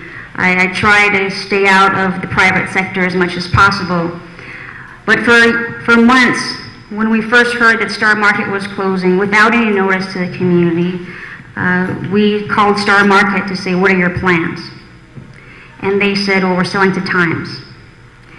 And so a lot of the people in the community, when they heard that, even the media that shared that message, uh, they felt, okay, there's a grocery store, we're fine. But what was going on behind the scenes, unbeknownst to all of us, was that Times was planning to sell to CVS because they'd get more money. Now, this significantly, as all of you know, this impacts our community in a very big way. I have many people who are elderly, who are saying that they depended on that place because it was close to their homes. For whatever reason, they couldn't get efficient transportation. I have elderly saying that Star Market was perfect because the handy van would go there and they could keep their colder items like ice cream and other necessities uh, chilled in a matter of time. I didn't know that sometimes it takes up to three hours in a handy van just to go down the street.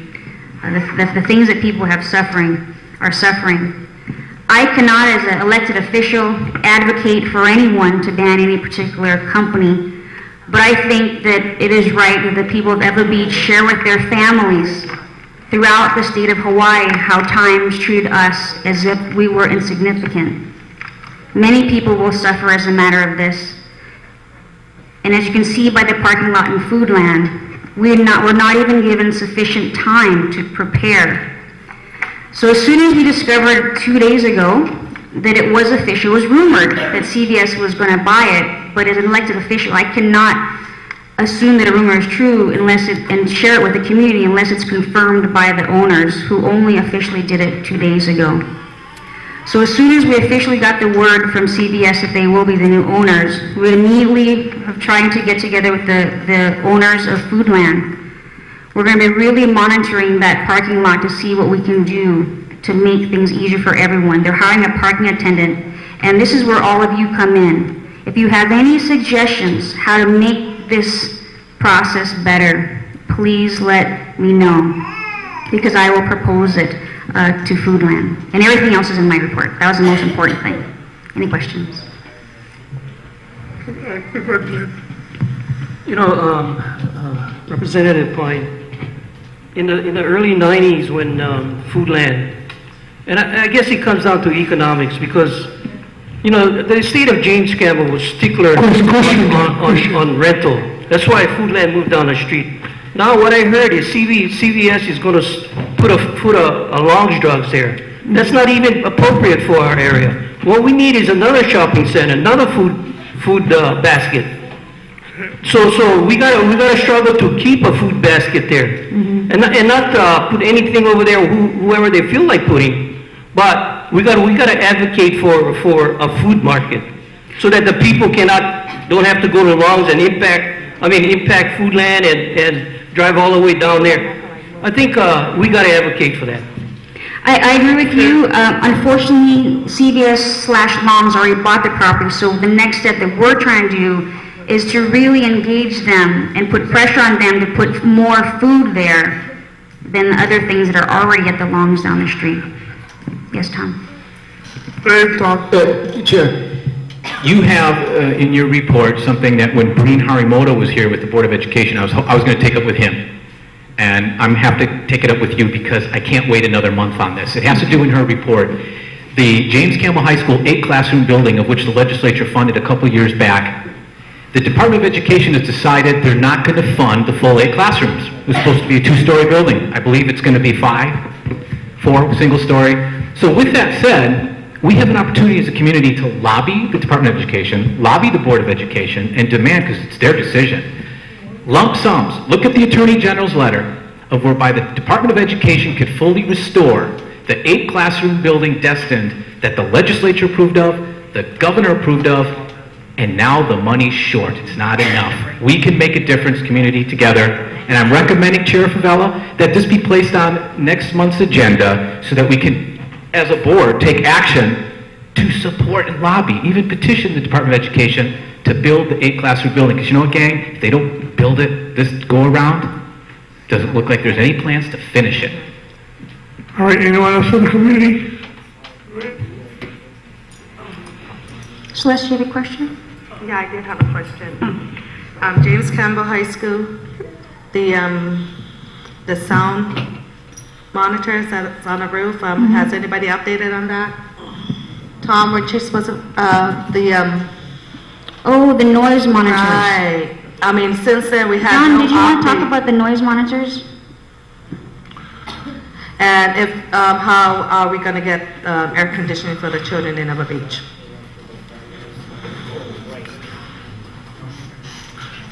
I, I, you Okay. gave us information about that, right? You're gonna look into it, right? Right, okay. Yes, um, that, that monitor is one of two noise monitors that we had in place uh, in the flight path of the aircraft. The other one is at the waterfront at Pualoa. Both noise monitors, um, they, they recorded uh, near 60 dBA, which is the federal limitation, so they recorded just under that. Uh, so we're waiting for the next readings to come in because we feel like uh, the readings we got the first time, uh, I, I think anyone who lives in the flight path, especially near you know, the flight path, uh, it seems like it's louder than that, so we, maybe we caught it during an off time. The next reading we're going to get in is going to record the holiday traffic. It's going to record some other things um, when the runway's been closed. So we're waiting for the next reading to come in on those monitors. Thank you, go ahead. Okay, my name is Cynthia. Hi, This is- Cynthia. Hi. Uh, I just want to say, I heard you say they're going to hire a parking lot attendant.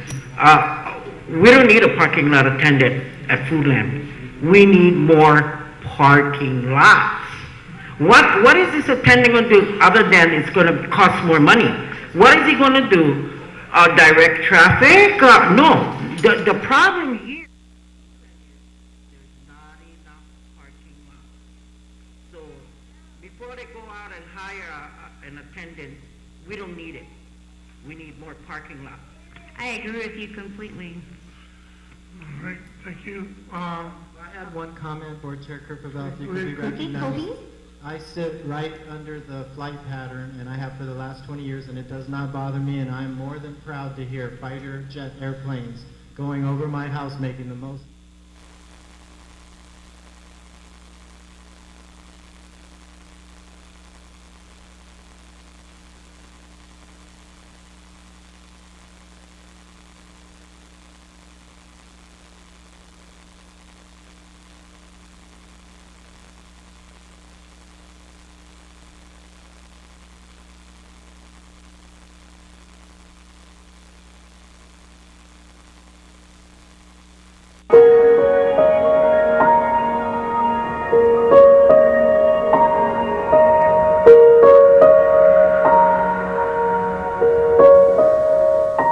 Aloha, I'm Representative John Reed Karamatsu, and I want to talk a little bit of how we can achieve peace within. I'm here at the Hawaii State Capitol in a conference room where we do a lot of our important decisions for the state of Hawaii. In our hearing, sometimes emotions can flare and there could be people upset. However, we can still stay positive within ourselves and spread positivity to others despite the negative situation around us. Some of the things I like to do, for example, is take a short break and take a walk, a brief exercise. Maybe it's walking up and down the stairs or taking a short walk to get grab a cup of coffee or maybe your favorite pastry or dessert. I also like to listen to music when I take a walk or do a brief exercise, and this helps to keep me in a positive level. For example, happy tunes or a smooth ballad to relax our soul inside of us while we look into ourselves in the negative situation we was in so we can come back and come back more positive. And that's what I like to do. And we can apply this at work or at home. Despite our negativity around us, we can still come back positive. Thank you so much. Aloha.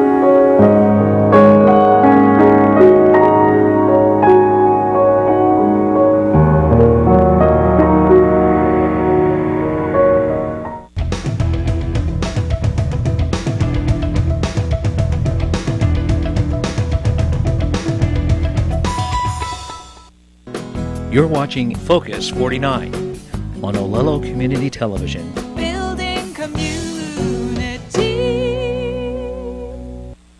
performance of the Rhapsody. Did you anticipate the furor it would cause? Well, not quite, but I think I was conscious of setting a precedent.